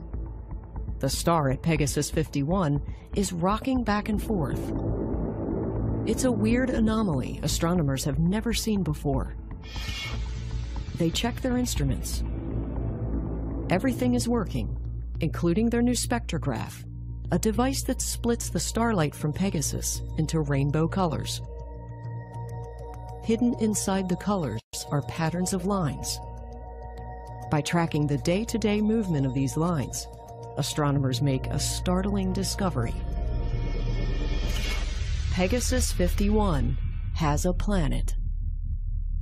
But no one has ever seen a world like this. It's half the mass of Jupiter, yet it's extremely close to its star. Nine times closer than Mercury is to the Sun. The planet at 51 Pegasus must be inside the corona, broiling in temperatures over a million degrees Fahrenheit. Soon, another planet is found around another star, and then another, and another. Astronomers have now confirmed over 3,700 exoplanets beyond our solar system. Nearly all of them are Jupiter-class planets grazing their host star. They're a new, previously unknown type called hot Jupiters. They're so numerous, hot Jupiters challenge theories about the origins of planetary systems. It's very difficult to make a planet close to the star because there isn't enough mass to build a giant planet very close to the star, and there's gravitational frustrations for trying to build a planet very close to the star. Astronomy is shaken with a new revelation. Planets do not stay put where they're born. When they're big enough, they migrate. It's a process called planetary migration. And yet, our own solar system has no hot Jupiter.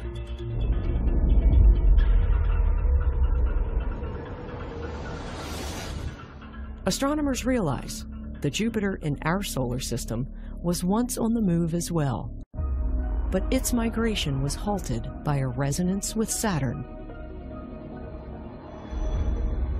Pegasus 51 shows where a planet lands when its migration is not blocked. The strongest evidence for the Grand Tack hypothesis comes not from our solar system, but from exoworlds charted around other stars. Planetary migration is a universal concept. We see it, evidence of it out there in extrasolar planets, other solar systems. There's no reason why planet migration shouldn't have operated in our own solar system.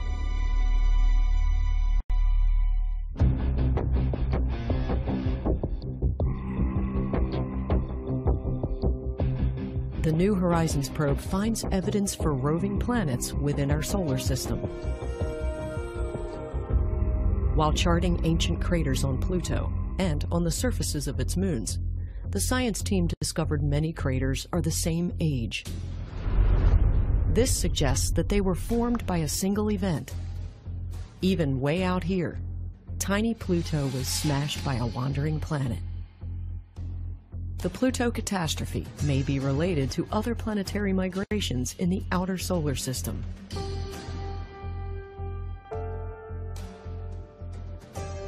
It was noticed that the exact orbits of the giant planets, particularly the outer giant planets, the icy planets, Uranus and Neptune, can be explained by their migration outward. There's a point in time about 3.8 billion years ago where Uranus and Neptune trade and it's because of what some of these mean motion resonance interactions that we were talking about earlier.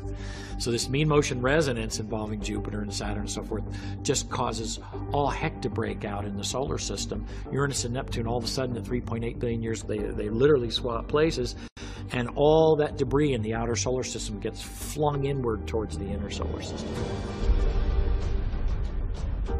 The disruption in the outer solar system causes a new wave of violence. Astronomers call this epoch the Late Heavy Bombardment.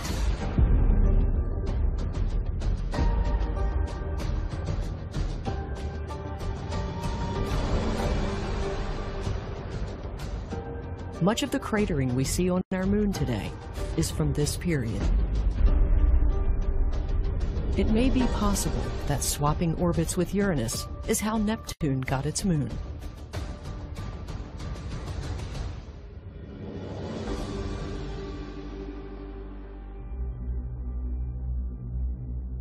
Today, the epoch of planetary migration appears to be over. The solar system seems stable, but what does the future hold? Computer simulations reveal what may be the greatest threat to the solar system in over 4 billion years. It comes from a very special relationship between Jupiter and Mercury. Mercury's orbit is slowly perturbed, thanks to a subtle but constant gravitational nudge from Jupiter. A new resonance, like the one between Saturn and Jupiter, that saved the inner solar system, is forming between Jupiter and Mercury. In 2001, computer models for the solar system were run 2,500 times.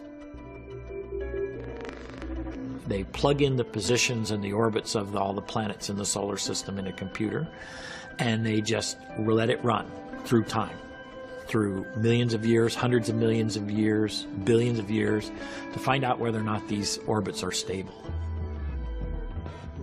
Change the location of one planet, say Mercury, by one millimeter, and you find that that change will give completely different predictions about where everything is going to be millions of years in the future.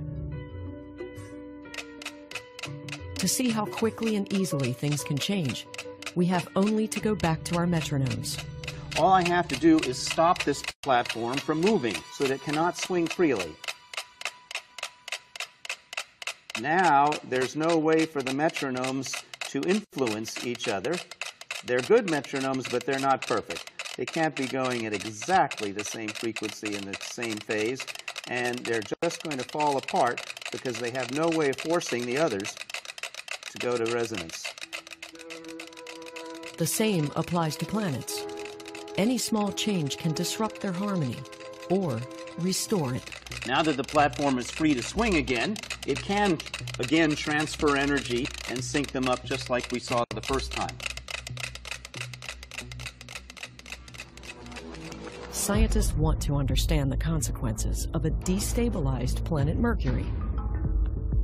In one case, Mercury leaves the solar system. The loss of its gravitational pull disrupts the balance of both Venus and the Earth. Earth and Venus swap orbits. The superheated atmosphere of Venus cools. Massive rains pour onto the face of the desert planet. Oceans arise. The land cools. And the air thins. Even the remains of an ancient visitor begin to cool off. Venus becomes like Earth. But the reverse happens to the Earth. As Earth settles into Venus's orbit, temperatures rise. The air becomes unbreathable. Glaciers melt. Oceans boil.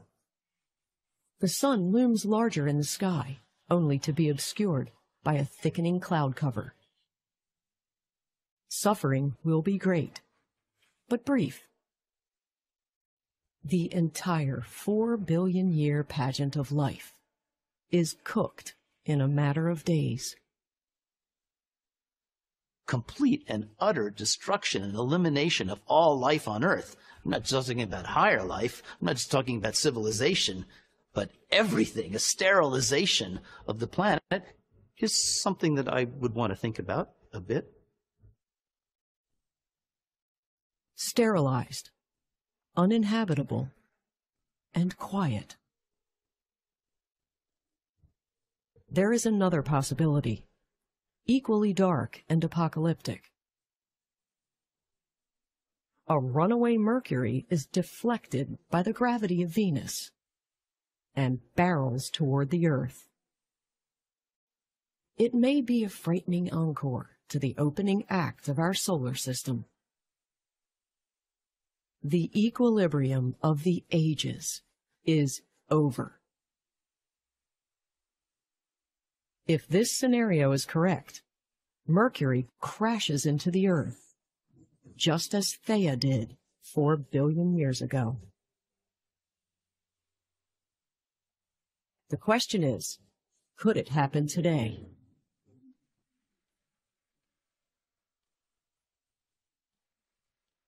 Or is it a fate far away in the future? At a time when mankind itself is but a distant memory.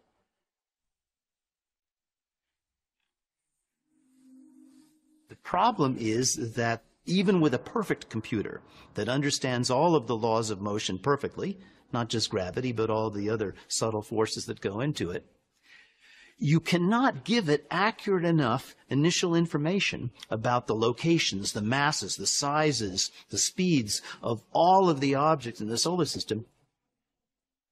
Odds are we may never see such a calamity. And yet, among the billions of stars in our galaxy, how many worlds are on the move? How many will share this fate? ripped to shreds in a flash, collapse in on itself? Or will it slowly freeze to death?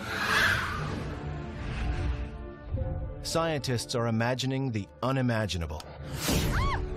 And they're coming up with some wild ideas about how it's all going to end. This is the end of the universe.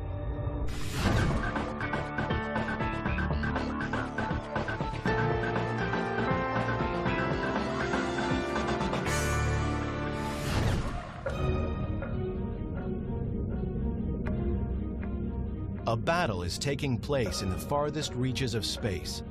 No one can see it, but scientists are certain that it's happening and that the outcome is grim.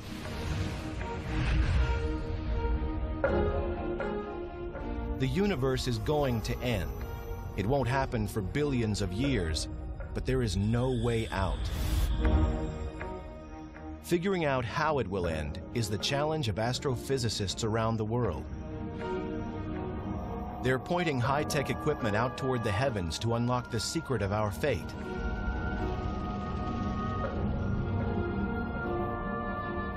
Possibilities are frightening. In one scenario, gravity pulls the universe back into itself, similar to air being let out of an inflated balloon. The universe goes back to its original size. This is the Big Crunch. That'd be the end of the universe and a big fireball as all the matter collapses onto itself. That'd be pretty dramatic. Then there's the Big Chill. The universe expands until the nuclear furnaces that power all the stars burn out. The universe grows cold and dies. A second possibility is actually kind of sad. The universe will continue to expand forever and it will just grow into an increasingly cold and lonely place as the expansion removes our nearest neighbors from us and we just end up a single isolated community of stars and galaxies. Then again, there could be a much more spectacular end in which everything is ripped to shreds, down to the last atom. Think of it like a balloon that is filled with too much air. It pops. It's much more dramatic than the Big Chill and just as fateful as the Big Crunch. The universe continues to expand, but at an ever quickening pace. And in fact, the pace is so great that even the space time fabric cannot hold the universe together. However, the end comes, it will be a dramatic conclusion. To understand how it all could end, scientists turn to how it began. The mystery starts to be solved here at the Mount Wilson Observatory overlooking Pasadena, California.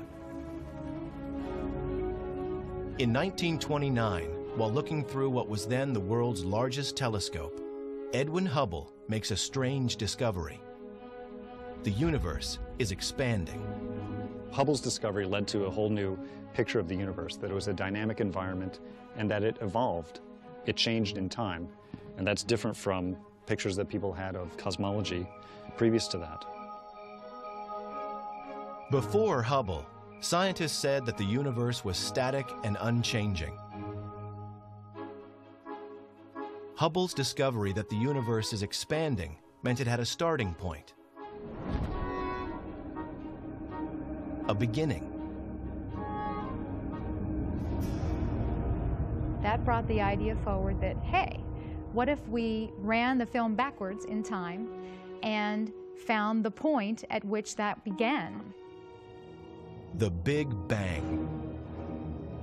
That fraction of a second when the universe and everything in it exploded into existence from a point smaller than an atom.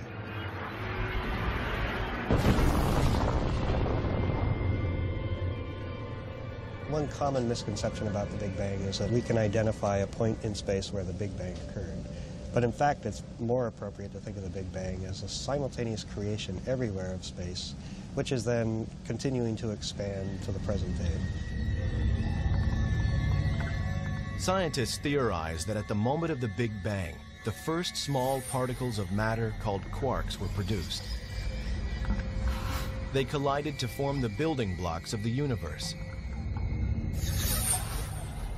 These floated in a thick fog of hot plasma for about 400,000 years. Gravity, also created at the Big Bang, drew the particles together, eventually creating the first stars and lighting up the cosmos. The theory of the Big Bang is a very solid theory. What happened at the moment of the Big Bang is still something we're working on. We don't really understand. If the universe has been expanding since the Big Bang, scientists must consider that it will stop expanding at some point. The question is, how?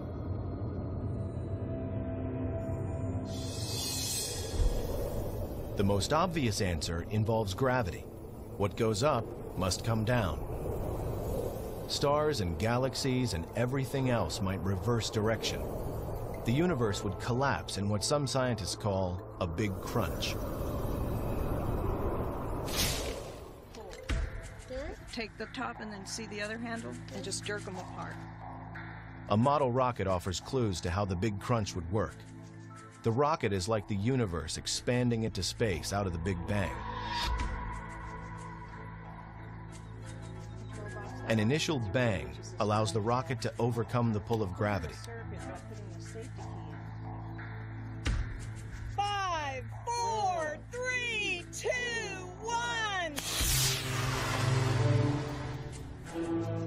Eventually, when the fuel is exhausted, the rocket coasts a few feet higher, stops, and is pulled back to Earth. This is what would happen with a big crunch. The entire universe is essentially pulled back to its launch pad. The universe itself has its own momentum, its own energy. It's moving outward. But eventually, there's a point where possibly the universe will stop that moving outward, just like the rocket that we saw, and have to fall back in upon itself and collapse again under the force of its own gravity. In this scenario, the universe could return to its original state just before the Big Bang, setting the stage for a perpetual seesaw of creation and destruction. The Big Crunch theory moved to a scientific back burner. Cosmologists figured out that there must be some form of energy that keeps the universe from collapsing.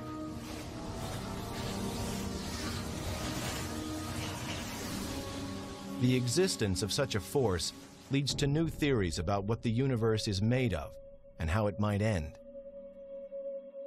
And evidence about how this might play out is found in some of the most powerful and mysterious phenomena in the cosmos black holes.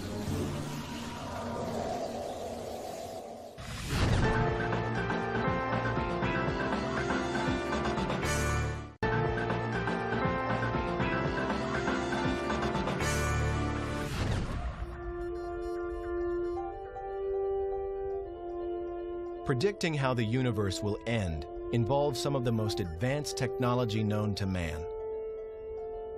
On a remote volcano on the island of Hawaii, astronomers are monitoring a battle in space that is shaping the fate of the universe. At an elevation of nearly 14,000 feet, the Keck telescopes bring astronomers from all over the world nearer to space for a clearer view of the cosmos. They come here because the telescopes work best far away from city lights and as high as possible above Earth's polluted air. Harsh conditions make it difficult to work here, but for scientists in pursuit of the great mysteries above, it's paradise. So this is a remarkable location. But of course the air is very thin, it's extremely hard to work here. But these telescopes are amazingly powerful. But we're ambitious astronomers. We don't just stop looking at easy objects. We try hard to look at the very faintest objects so we can understand the extremities of the universe.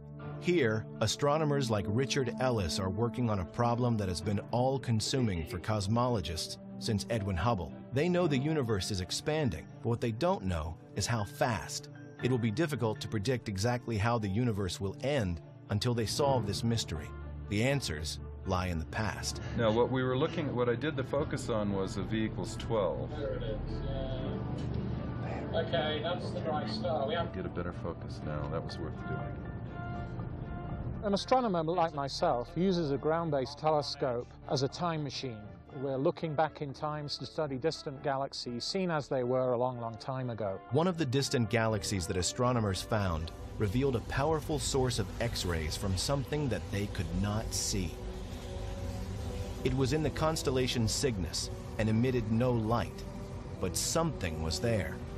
Whatever was emitting these X-rays had a mass about seven times that of Earth's sun. There wasn't a name for it, so they called it a black hole. Black holes offer scientists an analogy to how the Big Crunch theory works. When certain stars run out of fuel, they collapse in on themselves into a smaller and far denser mass that attracts more and more matter, just like the Big Crunch. The gravitational pull is so powerful that anything that falls near a black hole will be forever trapped. Not even light can escape. It's a mind-boggling concept that something invisible is detectable and offers a view to our ultimate fate. This black tarp represents space, and space is relatively flat. But when you put a massive object into space, it curves it. This is a penny, and notice how it comes into a really beautiful circular orbit. Basically, the black hole trapped it into an orbit around itself. And that orbit becomes very circular as it gets closer. And now the penny will eventually disappear, go inside the black hole. Earth's sun warps space similarly to a black hole, only it's a cosmic wimp by comparison. The gravitational pull of our sun is much weaker. Earth and all its nearby planets are trapped by the sun's pull, but it's so mild that it just stays in orbit without being sucked into the sun. The mass of a black hole can be a million times the mass of the sun, or more, causing a huge warp in the space around it that consumes everything that comes near. that black hole wraps space around itself. And so if material falls near it, it falls inside and gets trapped forever. Black holes exist in isolated areas throughout the cosmos. A black hole's gravitational pull is a scaled down version of the force that could cause the universe to collapse. That force is dark matter, and dark matter is what scientists often call cosmic glue. Hi, Matthew. So let's do some cosmology here. dark matter uh, attracts other objects via its gravitational attraction. It's a positive force. There's another force that opposes gravity, and that is dark energy. Dark energy, we don't really understand what it is, but it's a negative repulsing effect that pushes galaxies away from each other. The whirlpool in Richard Ellis's demonstration represents the gravitational force of dark matter. The green dye coming out of the syringe shows how the stuff of the universe collapses under the force of dark matter. The presence of dark matter acts as the focus for the gas in the universe, bringing structure together. This is how the Milky Way developed as the universe expanded. Little things merging into big things, the positive, constructive force of gravity. Now, if this was the only force in the universe, the universe would stop expanding at some point in the future, and eventually the universe would start collapsing. Gravity would eventually halt the expansion, bring it back together, in a big crunch.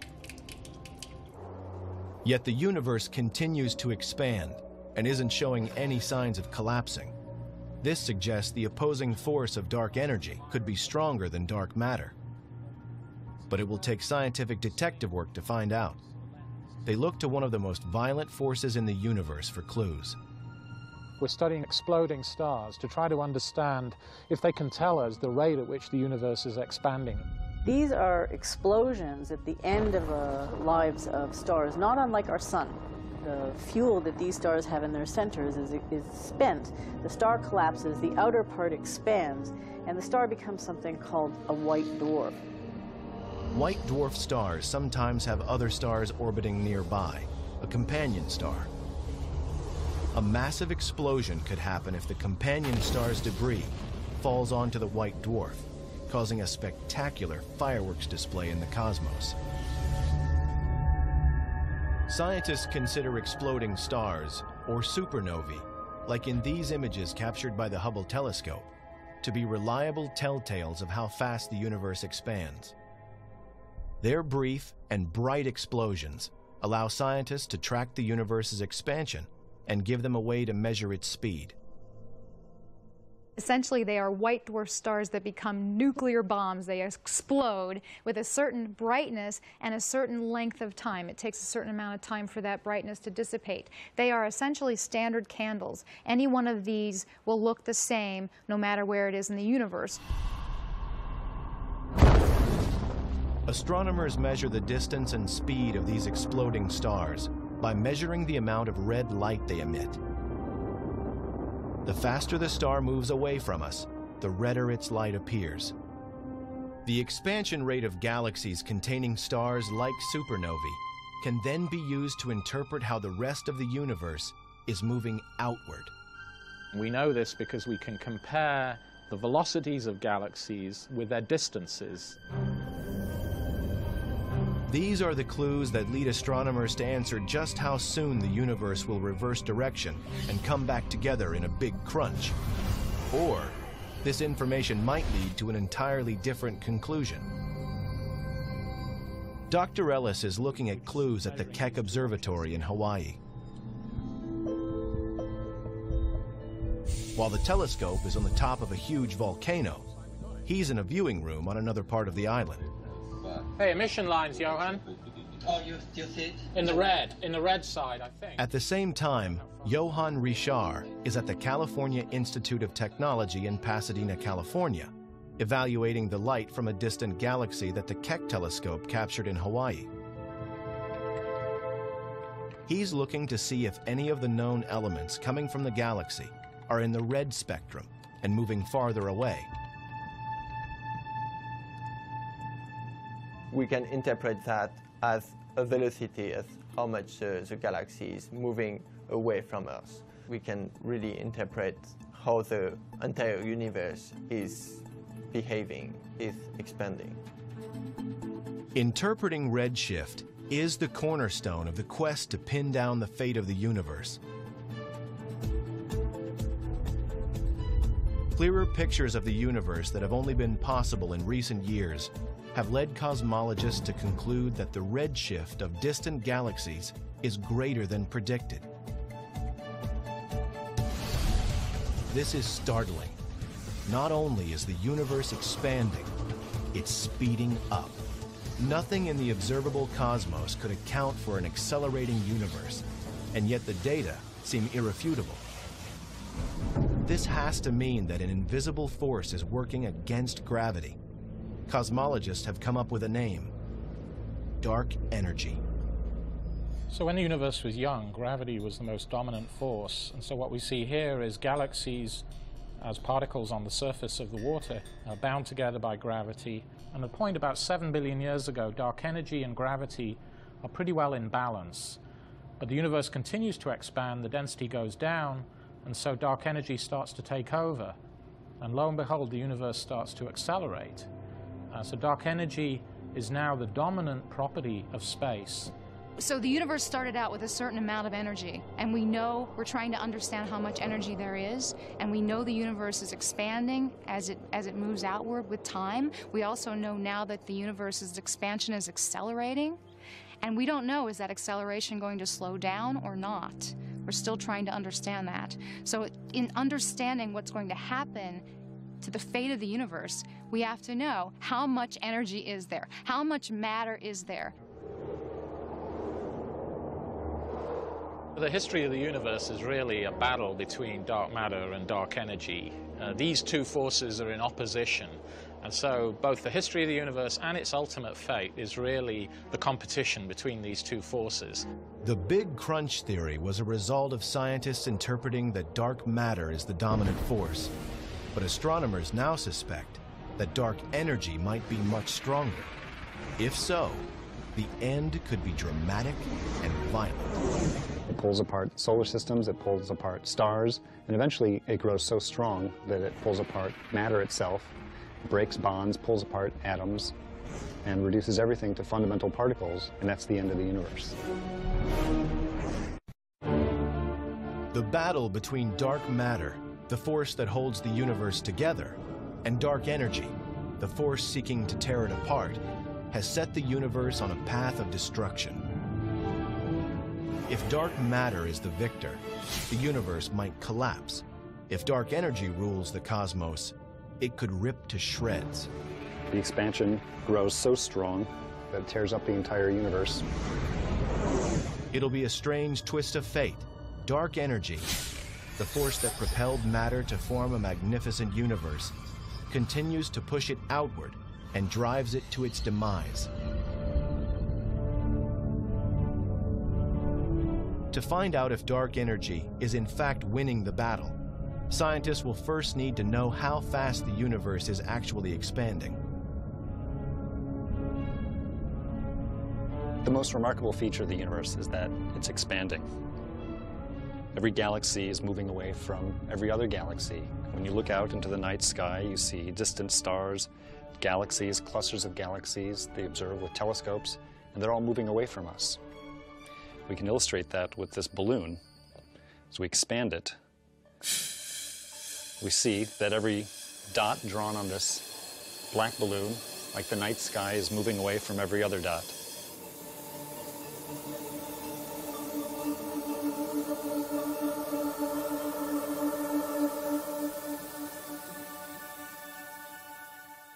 But there's something else that we know about the universe, something else that we know about the expansion. That is that the expansion is getting faster. The universe is accelerating. The size of the universe is getting bigger at a faster and faster rate. And we don't know exactly how fast it's accelerating, but if it's accelerating fast enough, then something really dramatic could happen. The universe could end up tearing itself apart in a big rip.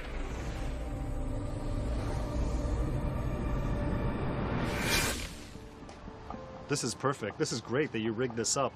So this is this is a giant version of the demo that I do in class. Dr. Robert Caldwell attempts an earthbound experiment to show how dark energy affects the acceleration of the universe. He uses a paintball gun mounted on a truck. Yeah, and basically, I mean, we could adjust the angle in any way that you want it. What do you think about yeah, I think this? I think down at Down a the little ground, bit you know, more? is uh, is the best, so we can mark each How's time the, the gun fires. That'll be good. Let's try that. He sends the truck coasting down an incline.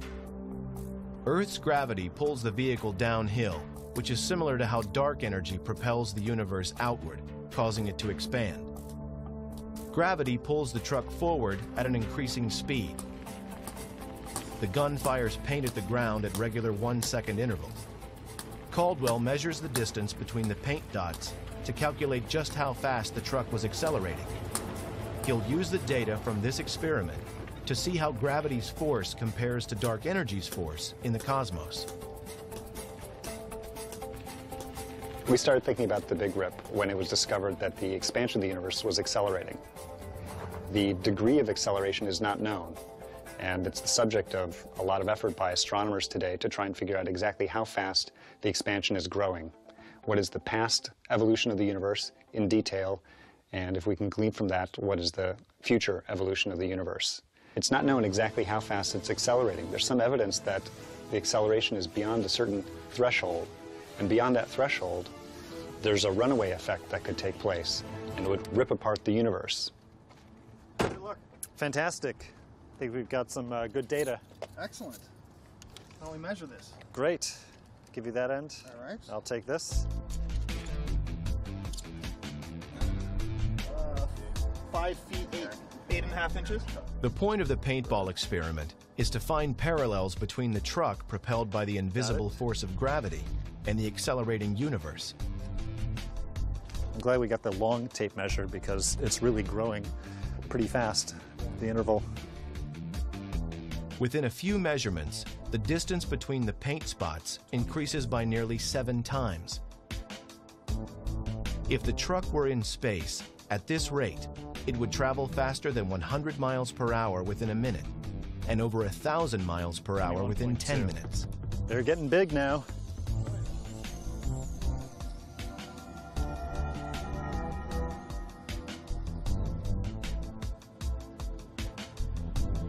Here we got 42 and a half feet. 42, all right, 0.5.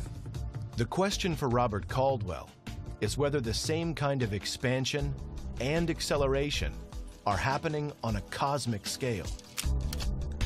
What's the, uh, the, the capsule made of? Is it plastic or something? Gelatin. Uh-huh, It's okay. all biodegradable. Uh-huh. So you could actually eat them if you wanted to.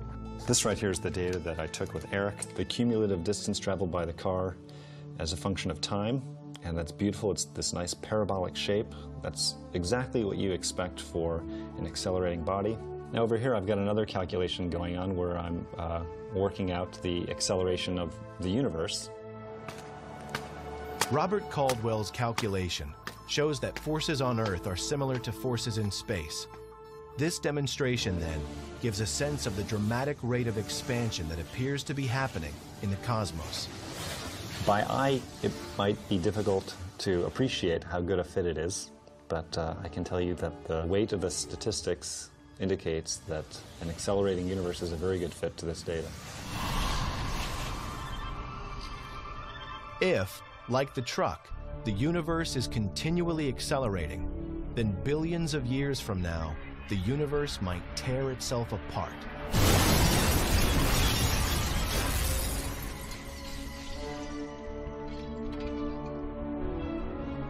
All the distant stars and galaxies will be pulled away from, from each other, they'll be pulled away from us.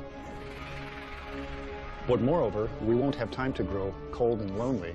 It'll actually be pretty exciting and dramatic and violent. Stars are ripped apart, planets are ripped apart, and even atoms are, are torn apart before the universe ends. It wouldn't happen for at least 50 billion years, but still it's an interesting fate for the universe. What would atoms ripping apart look like? Things like coffee cups are solid. Atoms join together to create something that will hold a cappuccino without leaking a single drop. Zoom in through the cup like sailing through the cosmos, past the molecules and into the atoms. The solid cup is nothing more than a fabric of atomic particles that formed a bond to become matter. If these particles were to move apart, the bonds that hold this cup together stop working. The atoms no longer support molecules. The connections between the minuscule particles dissolve. Matter in the form of this cup ceases to exist. It disintegrates, gone from existence. This is the dramatic end that Robert Caldwell foresees for the universe. What you would see if you were standing on Earth or standing on some other planet that uh, happened to still be around at that time, you would see something that looks like a wall of darkness approaching you.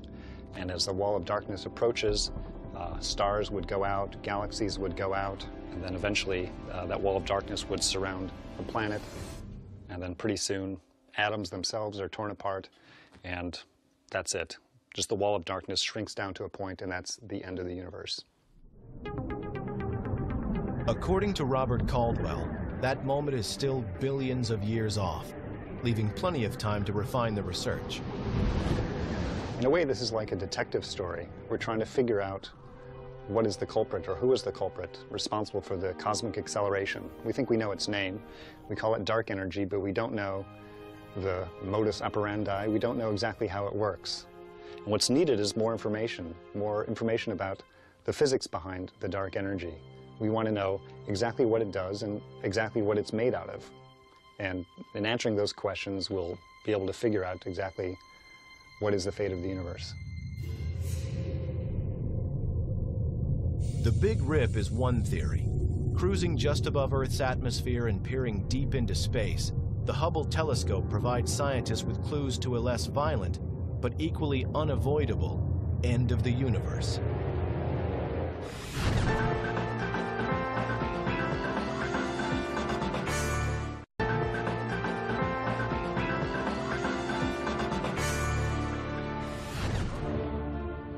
Scientists now say the universe is expanding, and that depending on how fast it is accelerating, it might end in a big rip where everything tears apart. It's also possible that it will continue to expand, but at a slower rate. The universe wouldn't rip apart, but we'd become dark, cold, and lifeless. If dark energy turns out to be constant, a constant property of space, and continues at the same rate that it is now, the universe will keep expanding forever, and it will be a very sad state. I think in the end, it just chills out. Everything cools down. Evidence for the Big Chill and all of the theories for the end of the universe, in part, come from the Hubble Space Telescope. It has been orbiting Earth since 1990 and has an unobstructed view of the cosmos. The extraordinary images it beams back to Earth are amazing in their clarity and detail. And because of Hubble, scientists can make better predictions about how the universe will end. So here is an example of a, a, very deep field that was taken by the Hubble Space Telescope, which literally you point the space telescope at a single region uh, in space. And if you looked at this from a typical uh, ground-based image before Hubble was launched, first of all, it's, it's a, literally a, almost size of a postage stamp. And so suddenly, the first Hubble Deep Field that was ever taken had 4,000 galaxies that looked just like the galaxies here that were never visible before from the ground. A tremendous power. Each of these smudges in their own right um, is another galaxy. Each one of these galaxies contains about 100 billion stars.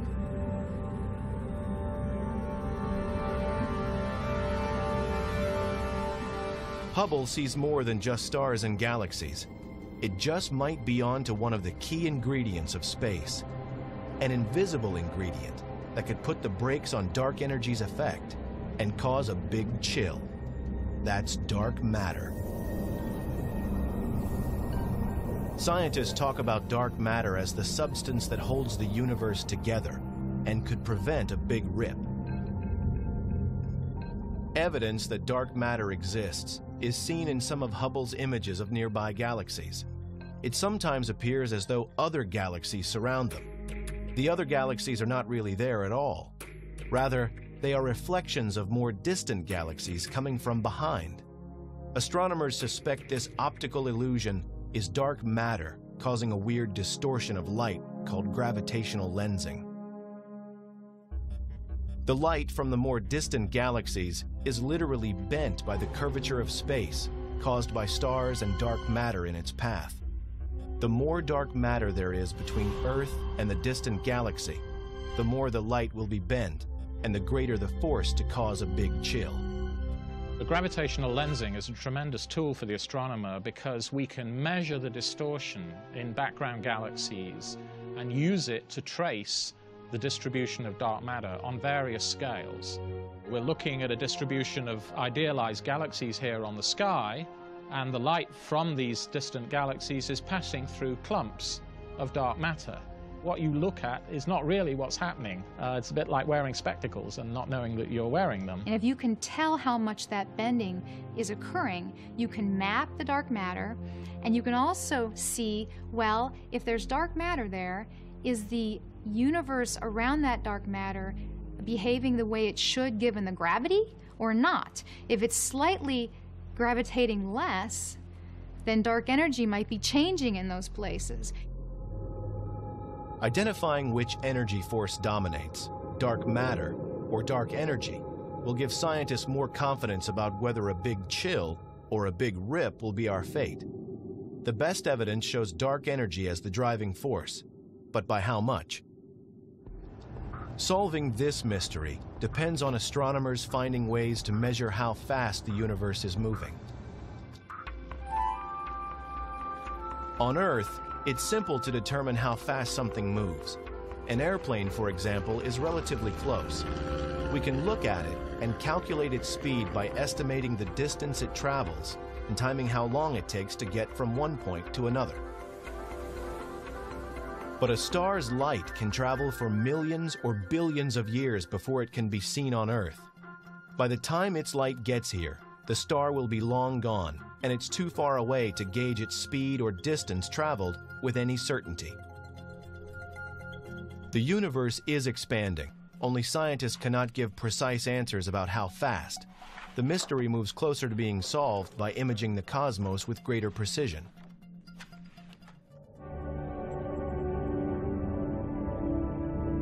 Clearer images from space make it easier to estimate the rate of expansion. If the universe continues to expand with time, then ultimately all of the energy sources, the nuclear furnaces and stars would run out and die, and the universe would actually get very cold, and there'd be something called a big chill. In the big chill scenario, Earth could become a lonely, cold planet as the universe expands. Distances between stars grow so vast that they nearly disappear from view. Over time, they burn out, and eventually the entire universe ends in a frozen state. This sphere demonstrates the principles behind a big chill. The marbles coming out of the sphere are like stars that were formed following the Big Bang. Dark energy propels the stars outward. Dark matter slows them down. In a big chill, the expansion would continue but the nuclear fuel that causes the stars to burn will eventually run out. From Earth's perspective, the first thing to go would be sunlight. The sun dims as it exhausts its last bits of nuclear fuel. Earth would freeze and become lifeless.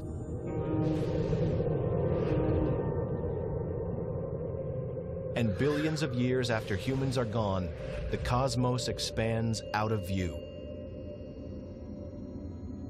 A few newer stars might remain, but most would have long moved away. The furnace powering the universe burns out. The darkened universe continues to expand, a frozen and lifeless remnant of its once vibrant existence.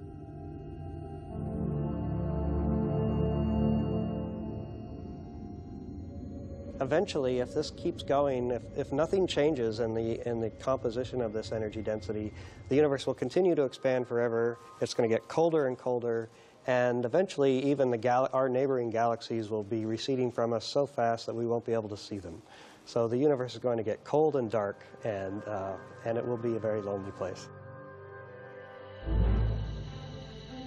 Astronomers have much to learn about the influence of dark energy and dark matter, and much of the newest information is coming from this probe in deep space.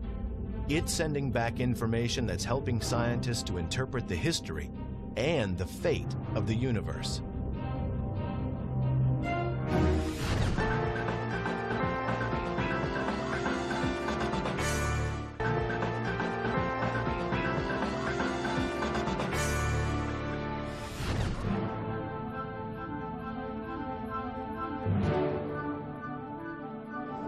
Night sky, by all appearance, is a quiet and peaceful place. But in reality, there are forces that are driving it to an end. Big science moves astronomers closer to deciphering the universe's great mysteries, including its ultimate fate. The solution to the universe's riddle may well be hidden in this multicolored image. What's incredible is that it's a map of the early universe from the moment it was conceived. And even more fantastic, it reveals a great story that helps cosmologists predict how it will end. The machine that captured this is called WMAP, a NASA satellite that's working around the clock to chart the cosmos. What we're looking at here is the edge of the visible universe. It's the light that WMAP measured, left, it's the remnant heat from the Big Bang, and this is literally the oldest light in the universe that we can see. This fossil relic from the early universe tells us a great deal about what the composition of matter was like, what the expansion rate was like, and really what the conditions were at the birth of our universe. WMAP is one of the great astronomical breakthroughs of the 21st century. Nothing before could give us such a clear image of the energy left over from the Big Bang, energy that scientists call the cosmic microwave background. WMAP is measuring temperature differences in the cosmic microwave background, which may finally make it possible to predict which force will dominate the universe and how that force will bring the cosmos to its end. The blue spots are regions in the uh, microwave light that was produced by the Big Bang that are slightly colder than the average temperature, and the red spots are regions that are slightly hotter than the average. Temperature differences revealed by WMAP tell scientists about the nature of the matter and energy that is contained within the universe. They're able to analyze the light patterns and find clues not only about the substance, but also the fate of the universe. We only capture a tiny part of the electromagnetic spectrum with our eyes, and we have to go to much longer wavelengths. The same wavelengths that are used to heat water in a microwave oven are what we're measuring here with WMAP. WMAP is so precise that it can detect differences in temperatures as small as one one-thousandth of a degree. This sensitivity helps scientists to calculate the ratio of dark matter to dark energy, forces that will determine how the universe ends. We assembled all those difference measurements and, and make a map of what the variations look like. And by turning up the, uh, the contrast, we can, we can basically subtract off this uniform glow from the Big Bang and look for variation. It doesn't look like much until Gary Hinshaw adjusts the contrast. Then the WMAP image comes to life. Looking at WMAP imagery is in essence taking a journey back through space and time so that we might get some new ideas on the fate of the universe.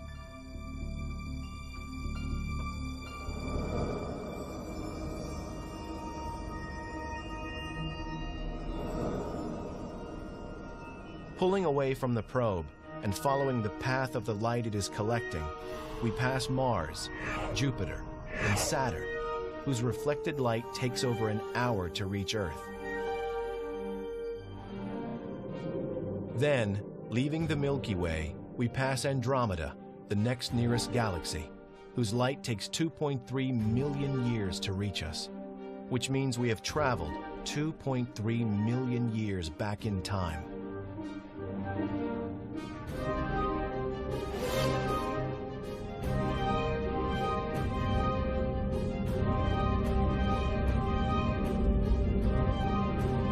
And finally, we arrive back 13 billion years ago, at the beginning of visible light. Before that, superheated hydrogen gas is everywhere. WMAP can see this far back in history. It's confirming important facts about the universe and what's driving it to its demise. The final act for the universe becomes more easily predicted thanks to WMAP.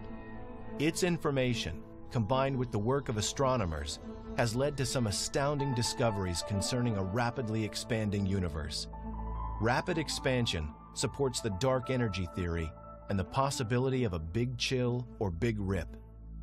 We now know from all the data we've had in the last 10 years that there's, by a factor of two to one, more dark energy than dark matter. So dark energy is the dominant constituent of uh, energy in the universe. The evidence seems clear. Dark energy is taking over and is leading astronomers into new thoughts about the beginning and the end of the universe. Before the discovery of dark energy, things were a lot simpler. If we could determine the amount of matter in the universe, then we could say something about its ultimate destiny. Those simple days are gone, but the proof is adding up and supports the idea that the universe will continue to expand. But will it do so to oblivion? We've made huge strides over the last century in learning something about the evolution of the universe and its expansion. But we've now raised more questions in some sense than we've been able to answer. And so I think the next decade is going to be even more exciting. Astronomers have tons and tons of challenges that have been thrown our way by theorists, and we are rapidly trying to figure out how to answer all of these questions. And I think that's the exciting future because if you, if you can go out and really observe something, you're testing it. And that's what science is all about. The battle between dark matter and dark energy is expected to go on for billions of years, and humans will be long gone from Earth when the final outcome occurs. But no pursuit has been more significant to science than understanding how the universe arrived, how it works, and how it will end. It's a never-ending quest. It's driving astronomy. What are the answers to these profound questions? The constituents of the universe, the nature of dark matter, and perhaps the biggest mystery of all, what is the ultimate fate of the universe?